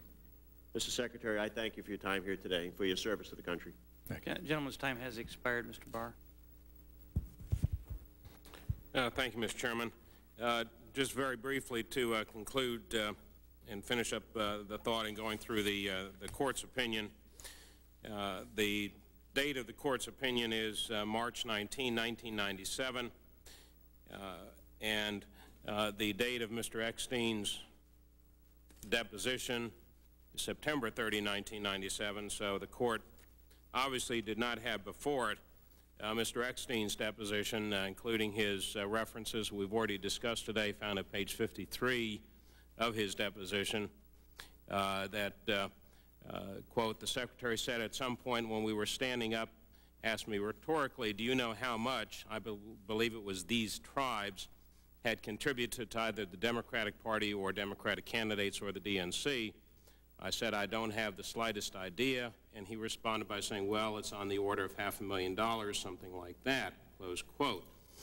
Uh, I suspect that particularly at that portion of the court's uh, opinion at page 8, uh, where she discusses uh, Mr. Eckstein and the inferences and the evidence that suspect her to believe political foul play, would probably not be weakened had this deposition been available to her. It may have been made available since, and I'm not sure. But my only point is that, that, this, that this opinion, uh, based on extensive, though obviously incomplete since we have additional evidence since the date of this opinion, uh, reaches some very disturbing and I think very credible uh, conclusions. Uh, I would uh, uh, uh, yield two minutes to the gentleman from Indiana, Mr. Hastert. Well, gentleman's from Illinois, but I appreciate the gentleman Gentleman from Illinois. from Georgia yielding me time. Uh, Just two very, very brief points that I want to make. You know, we talk about the local interest and, and why people were for or against, and we can number whether whether 69 people for and six- 72 people against it, pretty close. And, and city council voted for it and against it. But the issue was that there was a whole procedure that they followed according to Section 20, and they were following Section 20, that this thing was approved, approved, approved, approved, approved. And all of a sudden, Mr. Skibine became the administrator in this situation. All of a sudden, he got a message someplace, because he even said it was approved once, and then reached back into another whole section to actually say that this thing is not approved. So there's a real change in course, and uh, I would question that. The second thing I wanted to ask... Could I ask a question? Is, is it Uh, on the screen think- an I exhibit? think you can ask a You- question to the... You cannot ask a question, Mr. Is this an exhibit? You, you cannot ask a question, Mr. Babbitt is the one Can, can the witness refer to what's on the screen? Well, I uh, would refer to basically uh, the exhibit uh, C-104, if you wish to know. I would like to continue on. You have it. I would like to continue on, basically in one other question.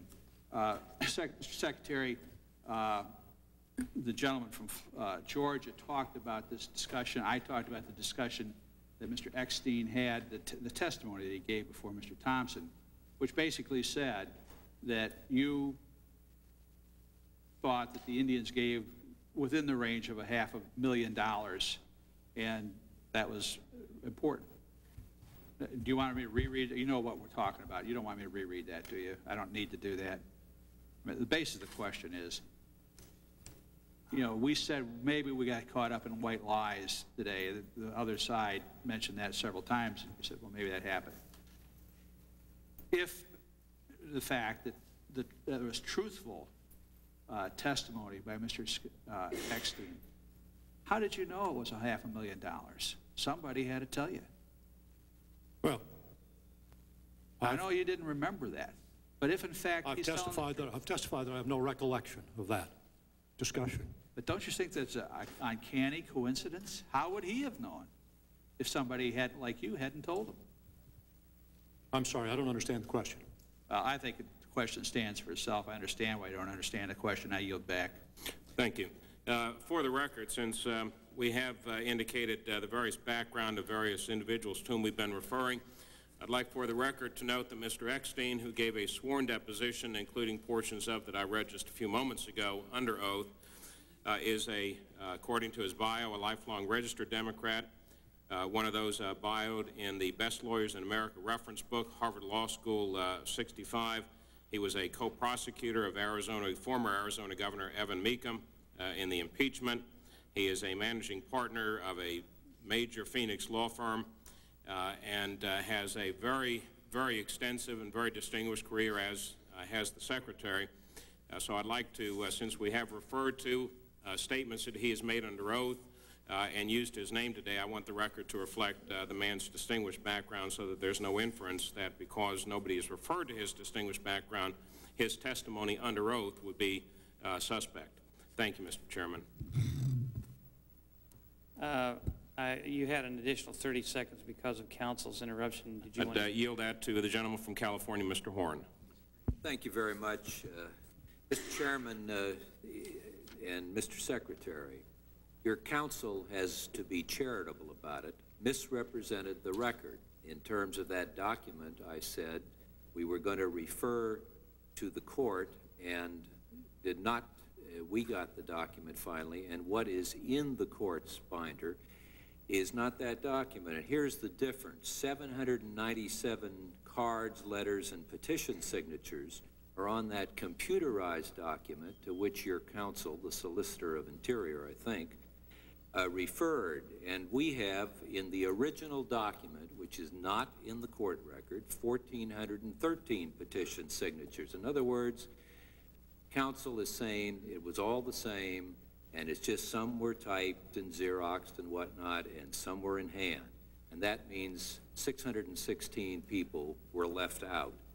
And uh, I don't particularly appreciate that misrepresentation, and I'd like, Mr. Chairman, if I might, unanimous consent that this part of the record go right after the incident that I recall when the lawyer advised the cabinet officer and misrepresented it. Without objection, so ordered. I'm told by staff that Mr. Hartman, who, who had the, the handwritten signatures converted to typed script, eliminated duplicate signatures. So that these 716 or however many there were taken out were actually uh, in there twice. Council, I don't know if you understand what I said a while ago, but I want to refresh your memory. If Mr. Babbitt wants to respond, that's fine, and you're at liberty to tell Mr. Babbitt, Mr. Babbitt can respond to the committee. You are not a sworn witness, so if you have something to say, I hope you'll say it through your client. Reserving the right to object to the unanimous consent request, so I can ask a Gentleman, question about gentleman it. will state his Did- reservation. Was it the request that we place some document in a particular place in the record? Is that what you suggested? No, I just simply want this addition that it was misrepresentation put after the incident when we were exchanging You want to put something in the record that there was misrepresentation? I'm talking about the fact that the council misrepresented the document and uh, said, oh, we've got everything in the record. Well, they don't have Well, everything in the record. They need the original document in the record, and that's all we're asking. I, I, I, I don't understand what your unanimous request is. To do what? He's asking Take that the this original section document of the put in the record, record. including your remarks right now, and put it back where the issue came up. And now, if the Reserving right- council, Reserving the right to object, may I, I, I'm still recognizing my reservation, if I might, Mr. before you object, may I insert two? I mean, if you're going to object, I'd like to make a Gentleman from California has a reservation on. I, I- I'm trying to understand what the request is, and you want to put some, some document in the record, but you've claimed it, it, it, it uh, provides evidence in some way there was a misrepresentation by counsel. That's your conclusion, but then if we're going to say that, then we ought to have the opportunity for counsel to insert some statement in the record in response to it, since he's being uh, denied the opportunity here. Would the No, gentleman agree to that? No, uh, council did respond to it, claiming that they had dropped duplicates. And all I'm saying is that was not the original discussion. The original discussion was, everything's there, but some of it's typed up and uh, Well, put I, together. i- if the gentleman would, would, would suspend, let me just say, I think we can resolve this by saying that I think this part of the record will reflect the discussion and the entire document will be placed in the record at, at this point. Uh, obviously, we'd like to have it in earlier, but if Mr. Waxman objects, it'll be put in the record anyhow. You object? If not, it'll be in the record at this point. Uh, Well, it doesn't make much difference whether I object or not, it looks like. Uh, I, I'm going to object to the unanimous consent request. If you want to put something in the record, go ahead and see if you can do it, uh, if you think it fits in the record. But uh, it seems to me that we ought to be fair and give, uh, if we're going to put something in the record with accusations, we ought to let somebody be able to re- respond in the record to give their point of view. And, and I don't know why the gentleman from California would be unwilling to go along with that. He could put his point of view in there He's got. and the document, and then let the council put a statement in there. Right, a- and that's, that discussion we're just having now would simply be moved several paragraphs back and put with the other discussion. But it doesn't matter to me if you want to just leave it here, it's just that people could read that part of the record and think that's the end of that.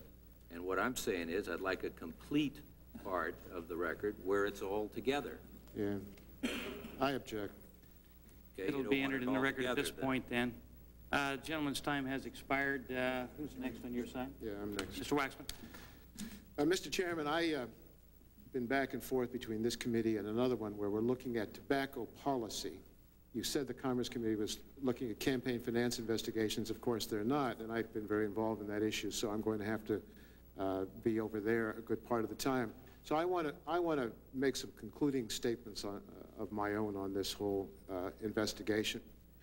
Uh, Recently, the New Republic magazine uh, analyzed the culture of investigation. Their story entitled Prosecutorial Indiscretion and the Criminalization of Politics. Uh, they made the obvious point. We should expose corruption and wrongdoing, and we all agree with that. But the article, article's main point is that we have a criminalization of our politics and government. We now focus on the insignificant and not real corruption. I think Justice Scalia, and I think I'm fair in uh, recalling his statement on the issue of the legal, of the independent counsel. He argued that we used to have crimes, and then we try to find out who committed them. Now we have individuals, and we try to find out if they committed a crime. Uh, I, I think it's absolutely clear to me that there was extensive lobbying on this issue of this Hudson dog track being turned into a casino. And it's clear to me that, there, that this is true on almost every issue we have in Washington, whether it's debated in the Congress, debated in the Department of Interior, or anywhere else where the decision is going to be made. But the key point, however, is that political contributions did not influence the Hudson Casino decision. That decision was made on the merits, and political pressure did not affect the decision-making process or those who actually made the decision. I think that's absolutely key, key, and we should not lose sight of it. We have one other peculiar factor in this case, and that is the meeting Secretary Babbitt had with Mr. Eckstein. And Secretary Babbitt clearly could have, and I think should have, handled this meeting in a better way. He's embarrassed about it, and I think appropriately. But we ought not to be appointing independent counsels for clumsy behavior. We shouldn't be holding meetings of Congress, four meetings of Congress, on something that didn't amount to anything. Uh, I think that um, Mr. Babbitt has had to own up to his embarrassment in this situation. And I think that uh, is uh, the price you have to make sometime for things you did that you, in retrospect, might have handled differently. But it would be a travesty if we had an independent counsel in this matter, as some people have suggested. It seems to me that there's no grounds for an independent counsel, but a lot of people now want independent counsels for everything, particularly uh, on the Republican side of the aisle.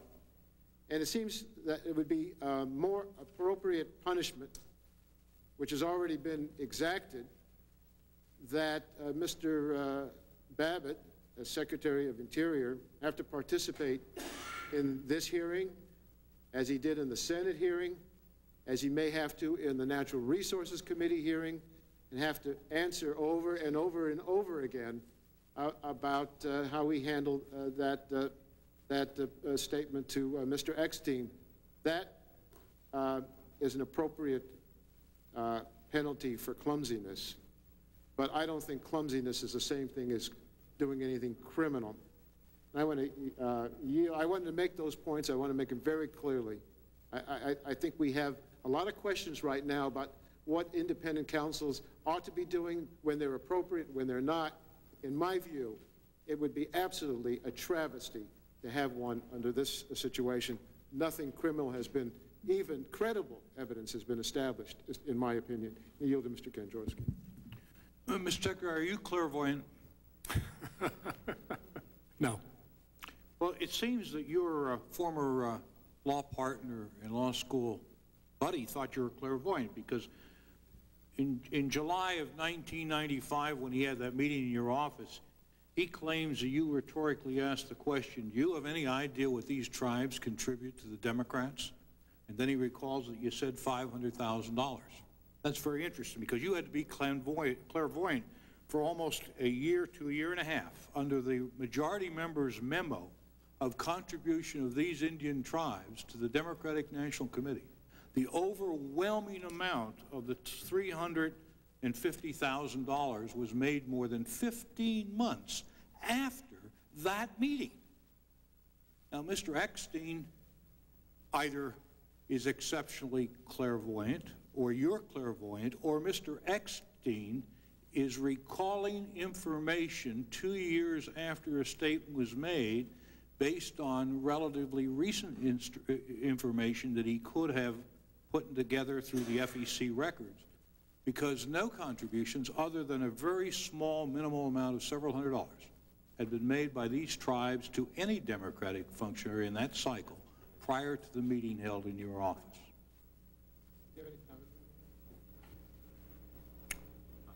Um, no, I, I simply do not recollect this discussion, which has now been alleged more than, brought uh, forward more than two years later. I- I've listened very carefully to the allegation. I'm still not certain, because as I was listening once again to the deposition, it seemed to me he was not clear in his rendition what tribes, and I think his rendition was in the past tense, but I would have to go back to the deposition to hear that. Gentleman's time has expired. I'll take my time now. Mr. uh, Paul Eckstein, I- I'm going to give you my summary of this thing, the way I view it. Mr. Eckstein testified under oath that Secretary Babbitt told him that Harold Ickes wanted the decision made without delay. Mr. Eckstein also testified that Secretary Babbitt asked him if he knew how much money the Indian tribes had donated to the DNC and told him it was about a half a million dollars. Now, on July the 13th, a law partner, Mr. Schneider of Mr. O'Connor, who was a lobbyist for the majority tribes, the tribes that won, the Shakopees and others, uh, raised $420,000. Wasn't two years later. It was within a short period of time after that, $420,000. Mr. Eckstein has never wavered from his account of the events. Mr. Babbitt at first said that neither accusation was true. Said it wasn't true flat out at first. A year later, he changed his story. Well, I, I obviously disagree with that Mr. Characterization. Let me just register my disagreement with that characterization. Just put the time back on the clock. This is not a question, Mr. Secretary. Mr. Eckstein has never wavered from his account of the events. Mr. Babbitt at first said, according to Mr. Eckstein, that neither, Mr. Babbitt said at first that neither accusation was true. A year later, he changed his story. He said that he did invoke Harold Ickes' name, but that he wasn't tell, telling the truth. But he doesn't recall the comment about the half a million dollars. He recalls half of his statement.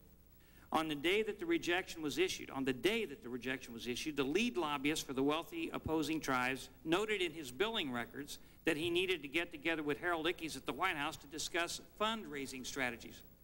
The day that the rejection was issued, over 18, over the next 18 months, in addition to the $420,000 that Mr. Schneider raised, the seven wealthy tribes that opposed the casino at uh, Hudson uh, contributed over $350,000 to the DNC. There's a great deal of evidence to suggest that Harold Ickes did have an interest in the matter, which lend credibility to Mr. Eckstein's statement. Mr. Ickes' assistant called Mr. Babbitt's assistant three times to get information about this application. Mr. Ickes was lobbied twice about the dog track by Tom Schneider, a close friend of the president's and a major Democrat fundraiser. Mr. Ickes told Mr. Schneider he would follow up on it. On May 17th, the applicant tribes met with Interior Department staff and were not informed of any problems with the application. That night, a group of staff had a private meeting that night and decided that the application would not be approved.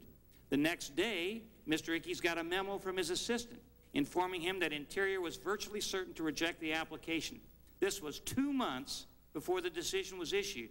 Mr. Ickes was clearly being kept informed as the process moved forward. Why? If Mr. Ickes wasn't in, in a loop, why was he asking inf- for information about this? Mr. Babbitt uh, said that uh, said he told Mr. Eck, or Mr. Eckstein said Babbitt told him that uh, it was because uh, Ickes was interested.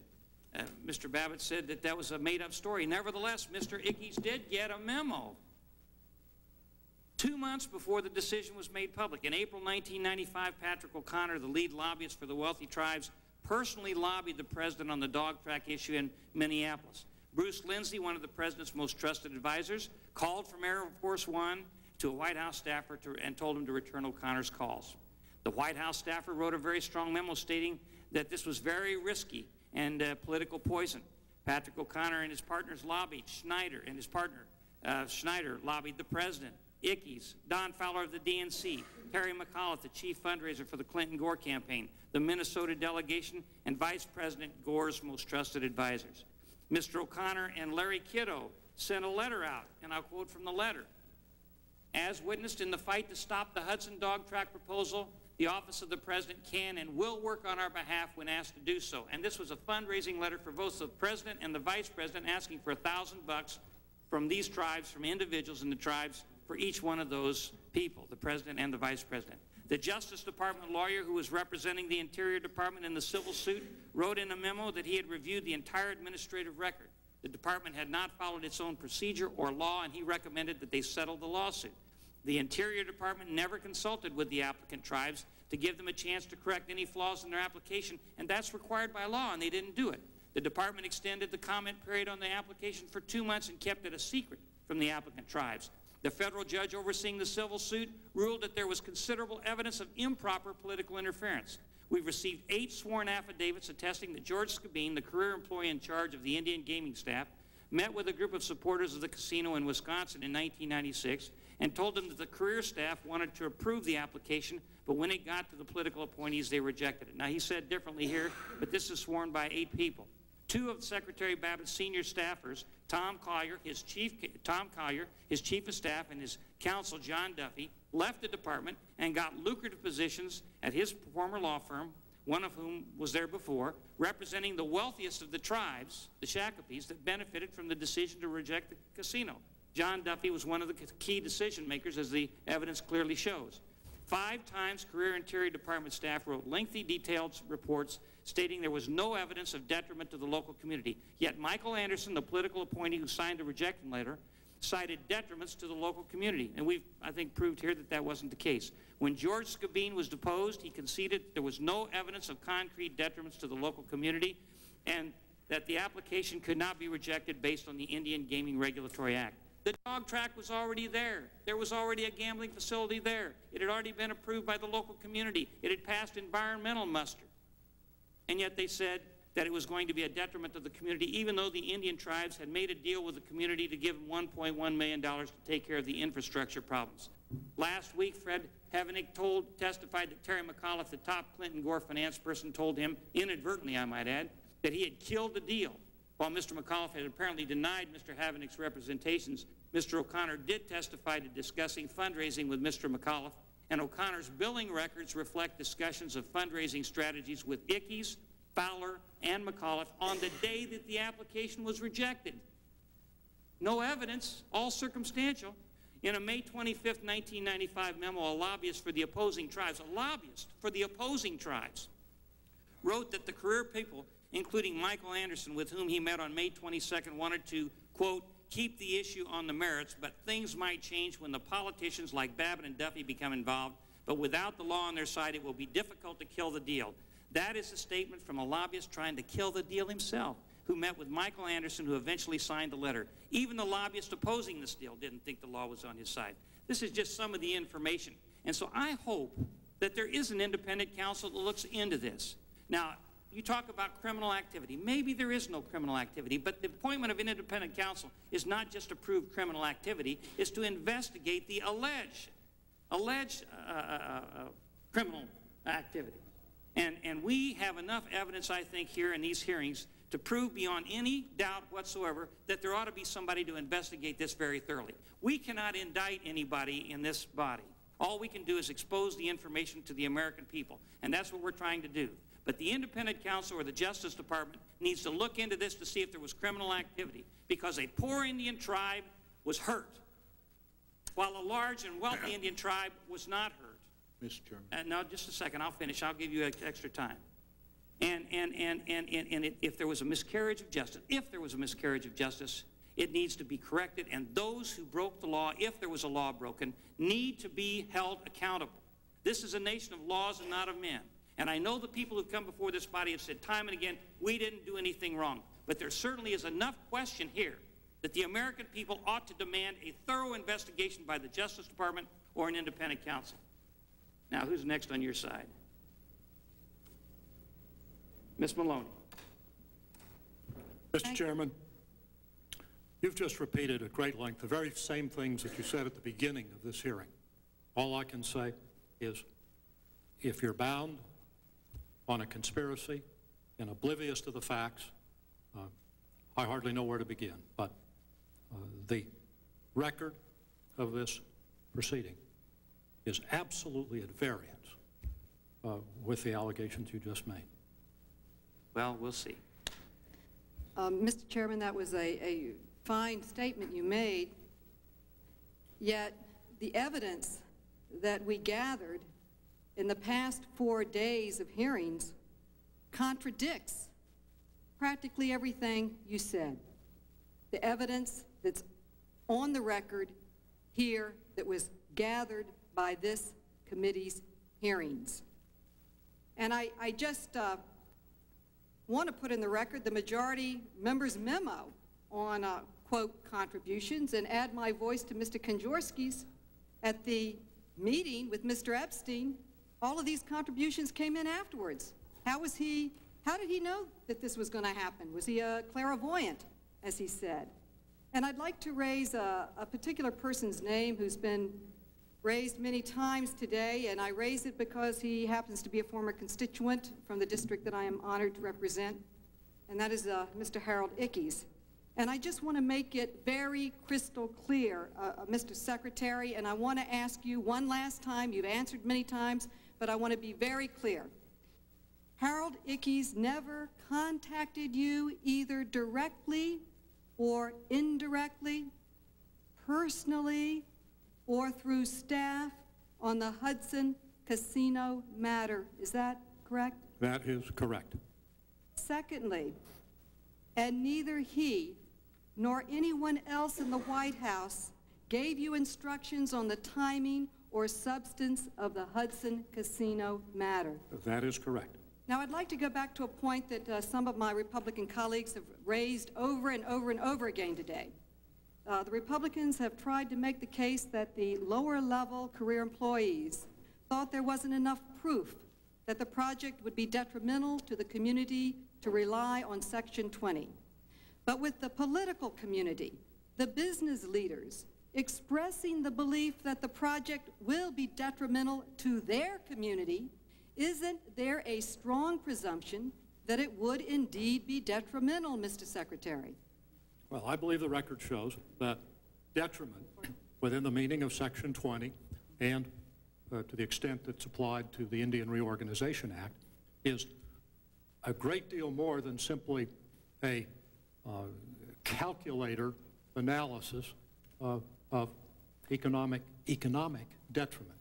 And I believe that that's at the center of the discussion uh, that clearly went on uh, in May and June in this process, is uh, attempting to reach a consensus about the meaning of detriment. Now, my view of this uh, was, is, and will continue to be that detriment is measured in terms of economic loss, in terms of perceptions uh, about uh, uh, traffic, uh, the nature of the community, quality of life, and all of the other issues that are Mr. obviously on the minds of the local leaders when they opposed it. Mr. Secretary, the point that I think is one of the most important is the fact that the elected representatives on all levels of government, city, state, federal, the entire Wisconsin delegation, Republican and Democratic, the Minnesota delegation, opposed the project. Now, I would never venture to speak for uh, another member of Congress or for the Wisconsin or Minnesota delegation, but I can speak for the New York delegation. And I can tell you that if the Department of Interior had overruled the unanimous bipartisan position of the New York delegation, you would have never heard the end of it. We would have had you and the president down in our communities in New York State reviewing and talking to the people, explaining why some bureaucrat overruled their opinion. To me, that's very important. People represent a point of view. They rese- represent people. And these people were saying they didn't want it. So I asked Mr. Chairman, what is the fuss about? What is the fuss about? We have a project that everyone was uniformly opposed to, except for a tribe that was 185 miles away that was partnered with a casino developer from Florida. That's what we're talking about. We're talking about every level of government, environmental problems, all kinds of problems. And I can tell you, Mr. Secretary, with all uh, due respect, if your agency had ruled against the expressed opinion of the New York delegation, we would have taken the issue to the floor of Congress. And I believe that our brothers and sisters in Congress, both Democratic and Republican, would have joined with us in a vote to protect the interest and the opinion of the people that are affected, the people from the district where the casino was proposed.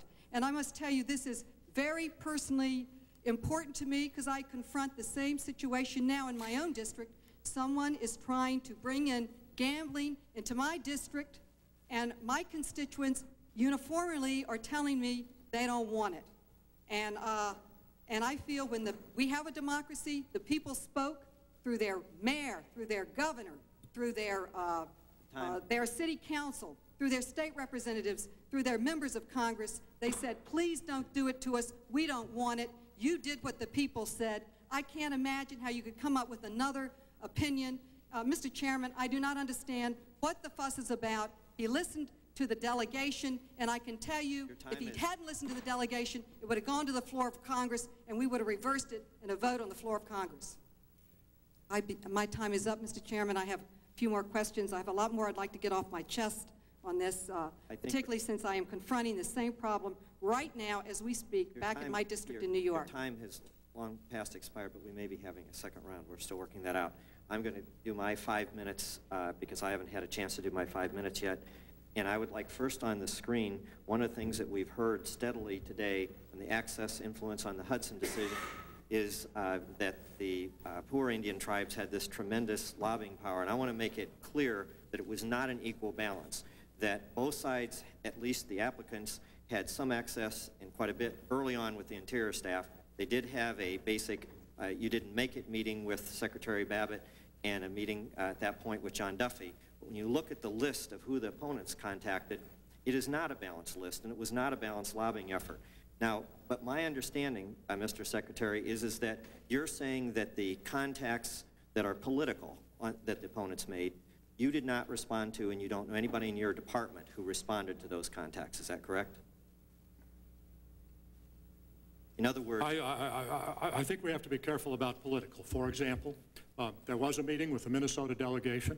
Uh, Why- that I don't- clearly I uh, political. I mean, they're congressmen. I, the names I have on there are all White House uh, and Democratic National Committee. I'm not talking about the congressman.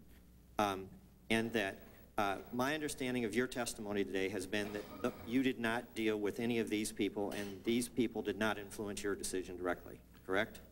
This lobbying was going on outside the process. Prior to Hudson, did the White House ever comment to you or anyone in your department on another gambling decision that was pending in your department? Well, no one here commented to me on this decision.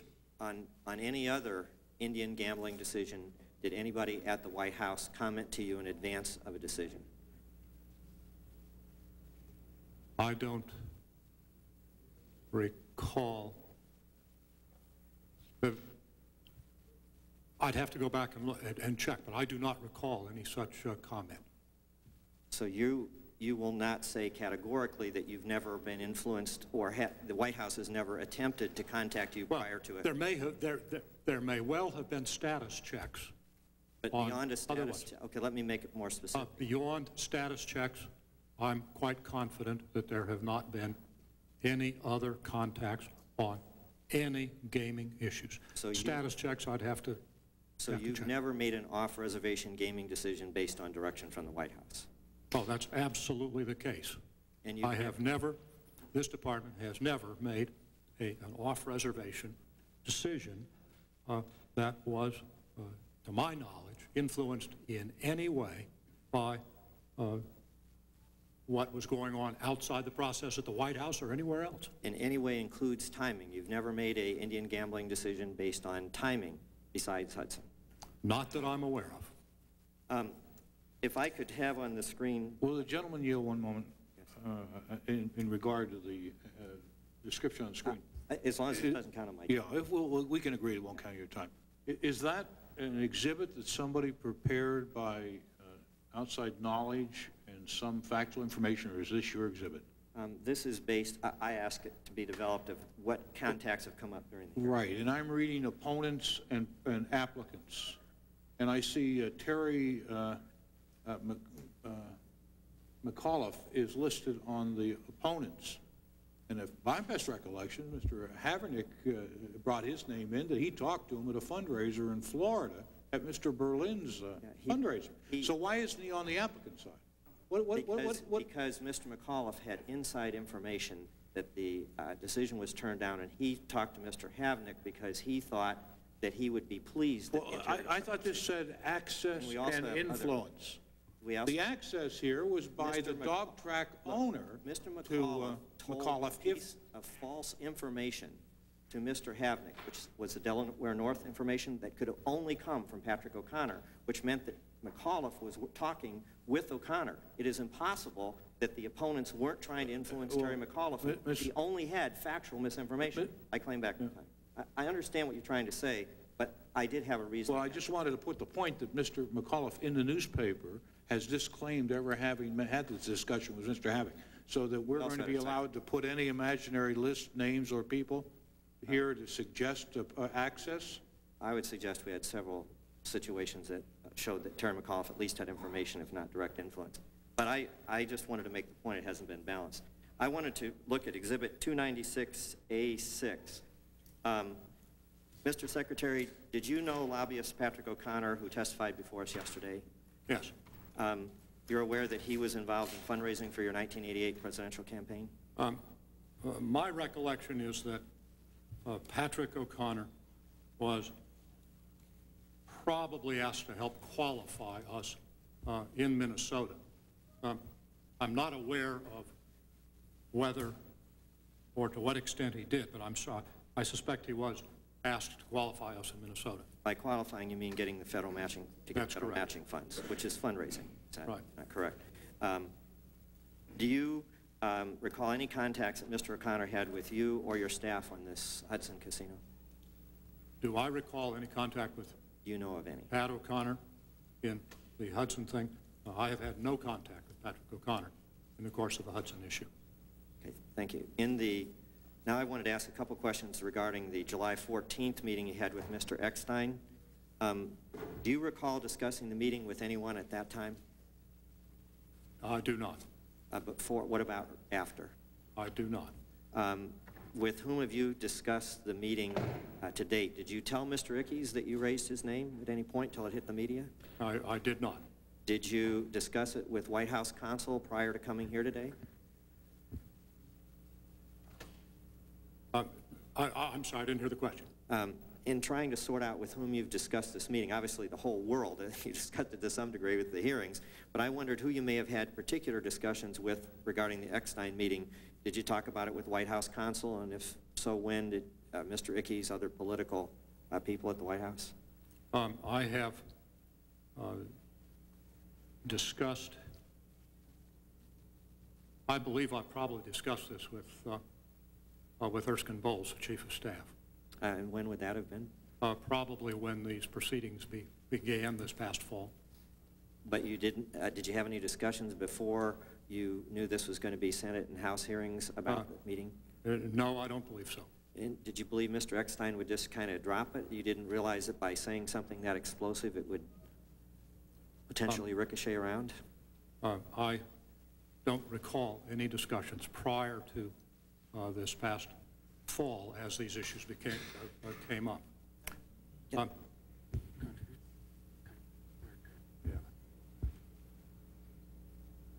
Uh, The contribution issue, for example, never was raised publicly until this past fall.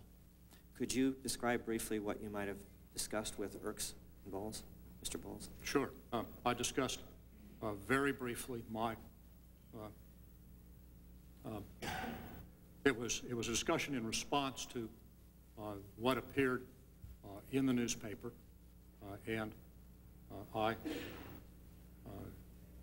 discussed uh, the issue very briefly. He, uh, he asked me whether I had spoken to, ever spoken to Ickes, and I said, no, I have not. And uh, that's the last discussion I've, I've had. Did you ever discuss the McCain letter or your testimony as, as you have clarified and to some degree changed uh, through that process? Did you discuss with White House counsel or anybody, uh, anybody in the political affairs? Uh, I have not discussed, apart from the one meeting with Erskine Bowles. Uh, I'm just trying, I'm slowing down because I think it was right on the front end of this, and I certainly, I probably must have dis- discussed the McCain letter. This was uh, my response to Senator McCain, I probably discussed with him. Uh, and, uh, and, he asked me whether or not I'd spoken to Vicky's. I said no, and that was it. Anybody else at the meeting? Uh, I believe Mr. Ruff was at the meeting, White House counsel. And you saying it was a short meeting? Was it like five minutes, 15 minutes? Yeah, probably five minutes. At the White House? Yes. I thank you for your testimony. Do um, any other members uh, seek time? Uh, Mr. This, uh, this would be the second round. Rather than saying we're having a second round, I just want to see if any other members uh, seek time. Uh, this would be in addition to your first five minutes. We've concluded the first round. Mr. Cummings. Thank you very much, Mr. Chairman. Um, Secretary Babbitt, I, uh, you know, I, I, know you ran for president, but um, my interest uh, in you came when you were, your name was uh, mentioned for a possible uh, Supreme Court uh, appointment. It was just mentioned, and I and I know that in order for you to uh, get to that point, I would have to agree with my Republican colleagues, Mr. Barr, who called you a very distinguished person, and Mr. Hastert, who went to great lengths to talk about your distinguished uh, career. Um, for you to get to that point, um, that means that you have had a lifetime of credibility. And not only as a lawyer, um, we who have never been considered for the Supreme Court or even mentioned uh, have to admire people like you. I think one of the things that concerns me is in this process, as I sat here and I listened to your testimony, um, it pains me that this, this process that we're going through, um, I hope that it does not taint your career for the rest of your life, because that's real we have one life to live, and this is no dress rehearsal, and this is that life. Um, and it does, it pains me to think that, that, that, that, that there's a possibility that that might be the case, but I want to go to what you did apparently do wrong. And I think Mr. Waxman was absolutely correct when he talked about no criminal activity here, but he talked about how you made, I think, a mistake. I really do. When Mr. Eckstein, and I understand that you all were buddies, is that right? Good friends. Am I right? Well, we certainly. Yes, you were friends.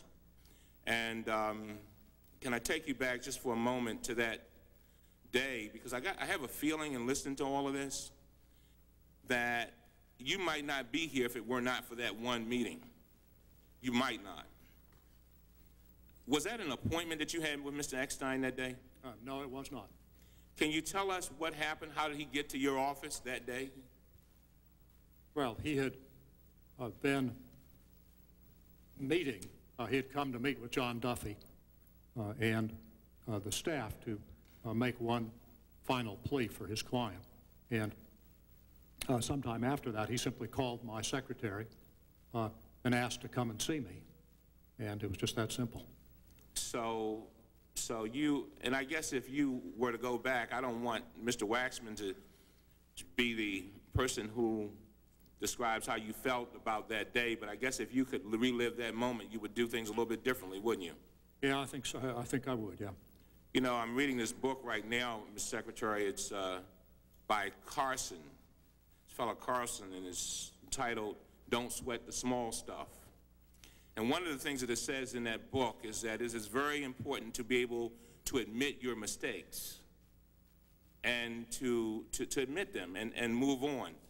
Um, the mistake that you made here does not call, and I agree with Mr. Waxman, does not call for an independent counsel. You were apparently trying to get a friend out of the office, trying to keep some distance in all of this decision-making process because your, your buddy was in the office.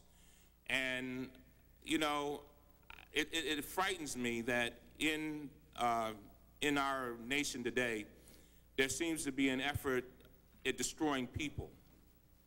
And that really does bother me. It really does. Um, and I'm hoping that we can get beyond that because I think you did make a mistake. I think you've admitted to that mistake. And I think you're sorry for the mistake you did make.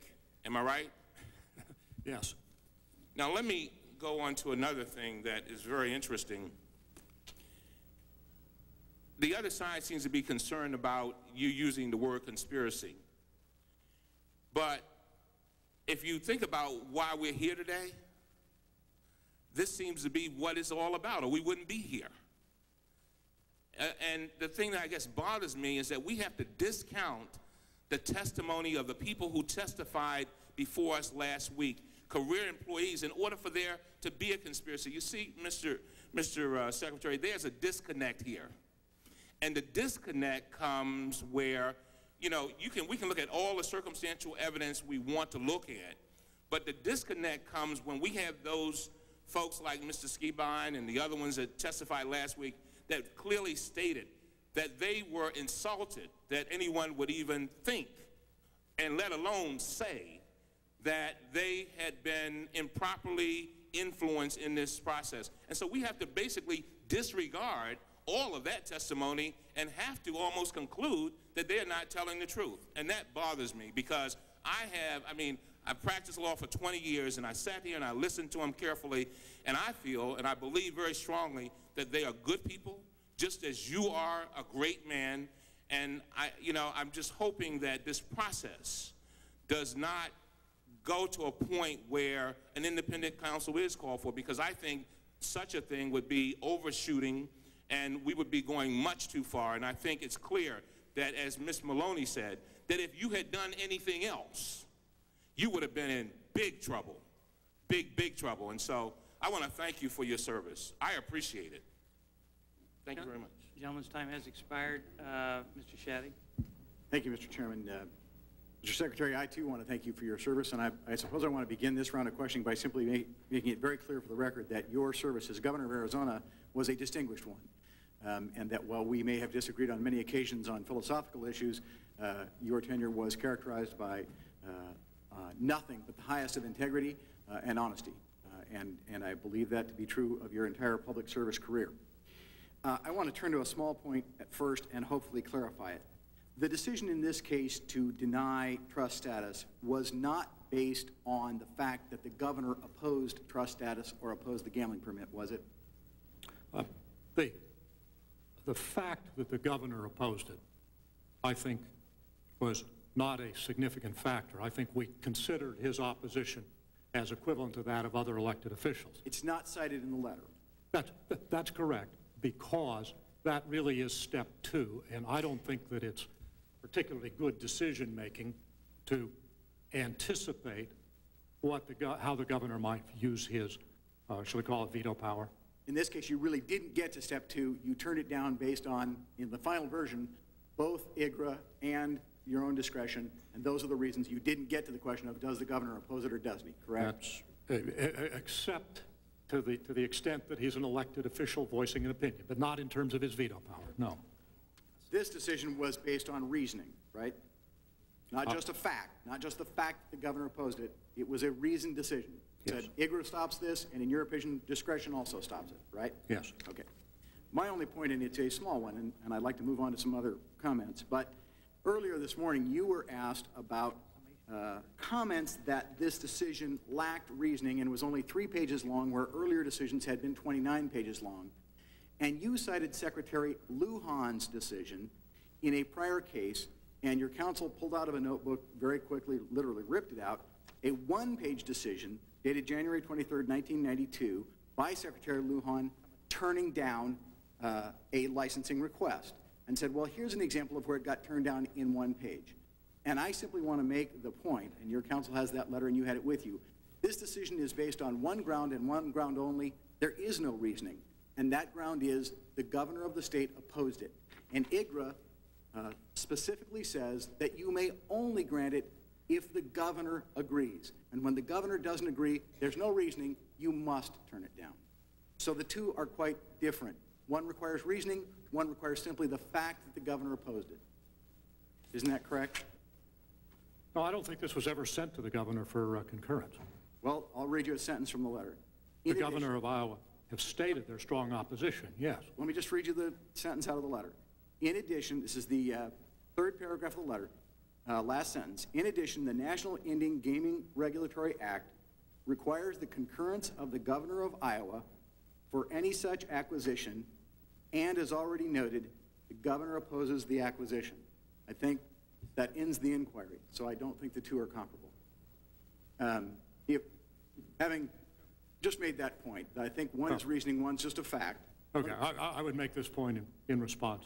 Uh, He points out in paragraph two, it says the affected community have stated their strong opposition to the project. But we really didn't base it on that. Here he says. Oh, I believe he did.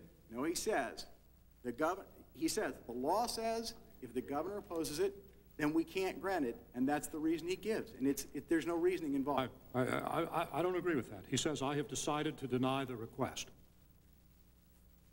Having cited the fact, the law does say if the governor opposes it, you have to turn it down. You agree with me on that? No. You don't No. agree that the law says? The, the, the law clearly says, in my judgment, that once the department Let me read makes a decision, then the governor has the right. I'll read you uh, United States Code, uh, Title 25, Section 2719, uh, B1A. The entire sentence I won't read, but it says, the secretary may approve, but only if the governor of the state in which the gaming activity is to be conducted in the secretary's determination. You may only approve it if he agrees. I, uh, Congressman, I, I disagree with that. I think that that says that the secretary determines and the governor then either concurs or does not concur. And if the governor does not concur, then it must be denied. The secretary must make a determination and send it to the governor. And the governor then, as I said earlier, has, after that fact, a separate power that's equivalent to a veto power. I think the sentence says it differently, but we'll leave it at that. Let me, uh, my time's running out. Let me simply state, um, I indicated earlier that I was very troubled by Mr. Ickes' conduct in this particular instance. We have had uh, now just a new reference to the whole issue of conspiracy, and in the notion that we ought not to have an independent counsel here based on conspiracy. We also had um, the ranking minority member simply describe the conduct in your office as clumsy behavior. I'm deeply troubled by a second aspect of this case. I have known you for over 20 years. I have respected you for over 20 years and still do. But I have also known Paul Eckstein for over 20 years and worked extensively with him as well and have respected him as well. And there is a very, very, very troubling conflict between his statement of what occurred in the meeting in your office and your statement that you cannot in any way recollect it. And regrettably, um, I think that is a part of the record, and I think it does, between Mr. Ickes' conduct and Mr. Eckstein's allegation, create a circumstance in which I hope we can, through some process, ultimately find a resolution. My time's expired. Gentleman's time has expired. Uh, My good friend, Mr. Kanjorski. Thank you, Mr. Chairman. Mr. Chairman, uh, when we all use the word conspiracy, it, it's uh, with the idea that we lose our proportions because we're able to take threads unrelated sometimes and weave them together to make them appear something other than what they are. And uh, in taking these few minutes, I just wanted to uh, call together that uh, a lot, lot has been made of a, a fundraising dinner held on the 13th of July, 1995, and uh, it closely coincided with the decision-making process. And then my friends on your side of the aisle had said, ah, see, obviously this fundraiser raising $440,000 by Mr. Snyder, one of the largest lobbying members or partner of one of the largest lobbying organizations in Washington, did something wrong here directly related to this decision. Now, now, you know, to the average American out there watching this program, they may say, gee, those dates are awfully coincidental, and maybe there's some smoke there, maybe there's something wrong. Except, Mr. Chairman, you and I, members of this committee, should know better. Fundraiser held in Washington, D.C. at $1,000 a head, having the President of the United States and his wife there, is not something that our gang comedy gets together and says, let's have a party. It takes months of planning, months of reservation of time. No possibility that anybody putting that fundraiser together would ever imagine that the department, the day before, the day after, would be arriving at this decision. And yet, it looks like a conspiracy to the untrained mind and to the untrained eye. Further, th that wasn't Indian money. That was $1,000 hard money by 350, 400 people from the Washington, D.C. area invited to a very successful lobbyist home. Was that wrong? No. Is it legal? Yes. Did it cause any problems? Only in the minds of those people that want to see some conspiracy or some connection. Then we have this troubling testimony of Mr. Eckstein. And I agree with my, the gentleman from uh, Arizona. I know he is quite a lobbyist and recognized person in town, but I find it incredible that he is that clairvoyant, that he knows Indians over the next 18 months are going to contribute $356,000, and he is able to miss that mark by uh, uh, 150,000 by the secretary apparently seizing it. I think I know what happened. I think Mr. Eckstein heard about ultimately these contributions over the next 18 months from the decision, and for some reason that confusion jumped in his mind, and maybe through other conversations he had, he jumped to the conclusion that maybe that was said at the meeting. I doubt whether it could be said. But if I have to make my bets, I don't think they hold that secret for two years. And finally, it comes down to something Mr. Waxman said. We're not arguing here about poor Indians and rich Indians and somebody had been done wrong. There's nobody on this committee and nobody that I've ever read about that didn't say this is the right decision. That this cabinet officer or this department resolved this decision the way it should have been made. And we're out here trying to fry him and his integrity and, and his professionalism and his independence because he made the right decision.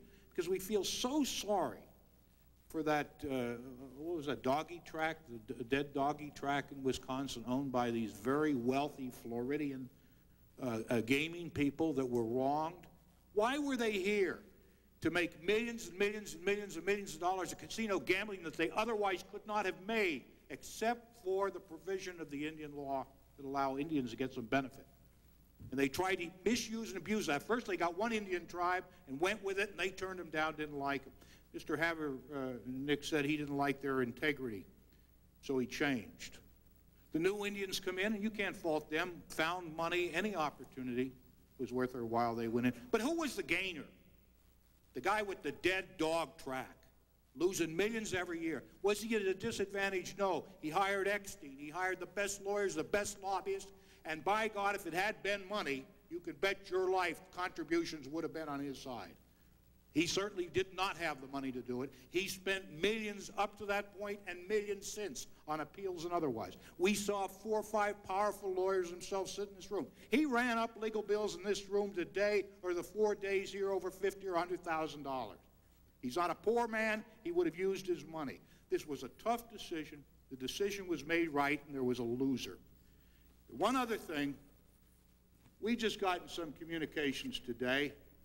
You know, Mr. Havenick cast aspersions on that Indian tribe that he didn't want to uh, uh, join with. He said he didn't like their management skills. As I understand, the National Indian Gaming Commission issued a press release, and it just said that he, they're going to close one of the casinos owned by uh, uh Mr. Havenick because of violation of... Uh, no, no. What? Okay. I'm sorry, not by Mr. Havenick, but by one of the tribes that were petitioners here because of their violation of regulations and the gaming ordinance. Now, maybe in the end, how funny it will be that this department and these staff people made the right decision, and we as the Congress, in order to find something wrong politically and in campaign finance and connecting all these dis, uh, disparaging uh, threads, to create a conspiracy, there isn't any. They did the right thing at the right time for the right purpose under the rules and under the merits.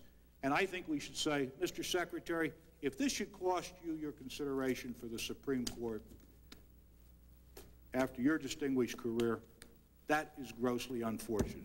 and I don't think in the end it will. Gentleman's time has expired. Uh, Mr. Barr, you will be our final questioner. Thank you, Mr. Chairman.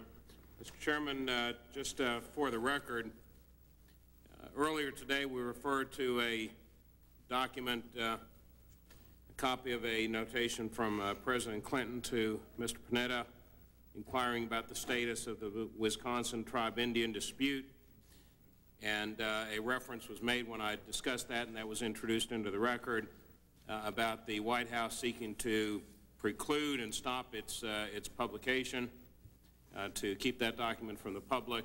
Uh, it was indeed uh, one of the 10 documents listed on a privilege log uh, submitted to us in October of 1997, Exhibit 150-2, item number 6. So that is in the record, and I want to make very clear today that that is the case. Uh, Mr. Secretary, I'd like to go back briefly to your discussions uh, that we referenced shortly ago with Mr. Bowles and Mr. Ruff, White House counsel, uh, about the statements uh, by Mr. Eckstein. Uh, what exactly did you discuss with, that, with them, and when was that discussion or those discussions? Yes, I met just, I would guess, uh, the, the date will be obviously available. I think it was in uh, sometime in October. Probably a five-minute meeting. Uh, would that be, I mean, before October 10th, before your letter? Um,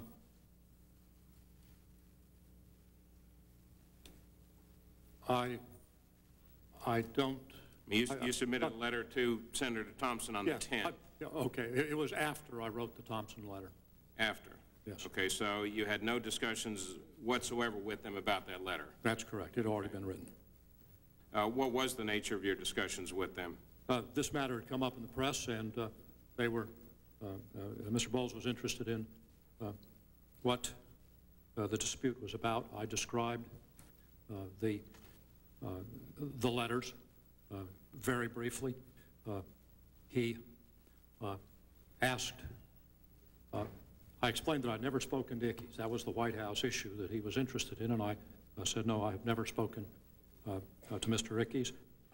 And um, he suggested to me uh, that I should, you know, talk to Senator McCain, and that was about it. But you're, you're very clear in your mind that, that you had no meetings with Mr., or no discussions at all with Mr. Bowles or Mr. Ruff before your October 10th, 1997 letter to Senator Thompson? I'm quite clear about that. Okay. Uh, did you have any, have any emails or written I'm, I'm certain, that I- I'm certain that I did not. Okay. Could I have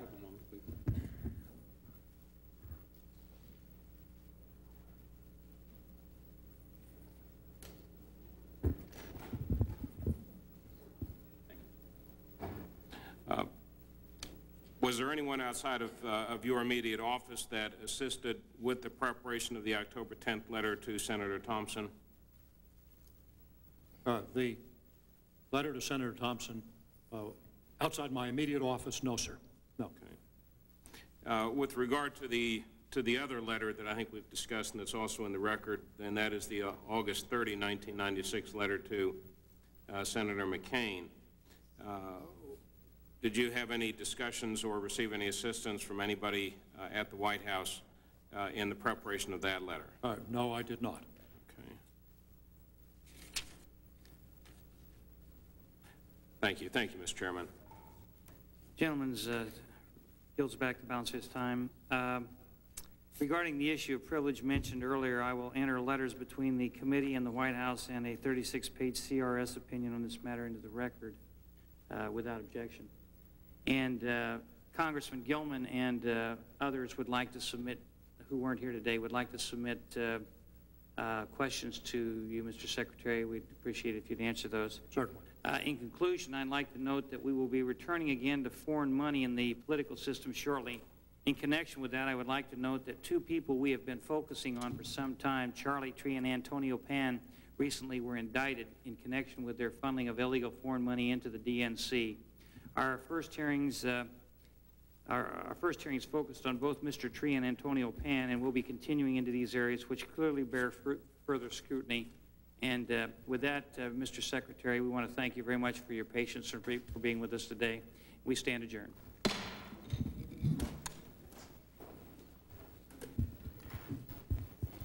we can get this organized. Stuff here.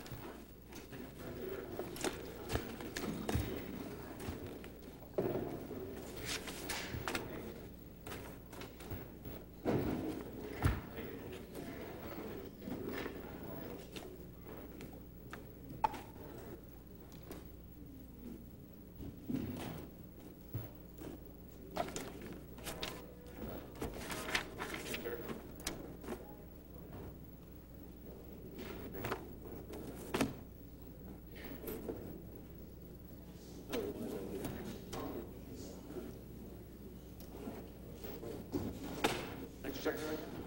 Thank you very much for being with us.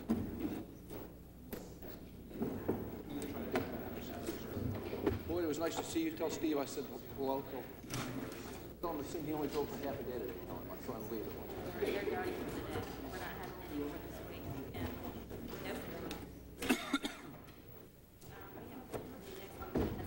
The U.S. House next meets on Tuesday at 12:30 p.m. Eastern for morning hour speeches, 2 p.m. for legislative business. Issues next week include renaming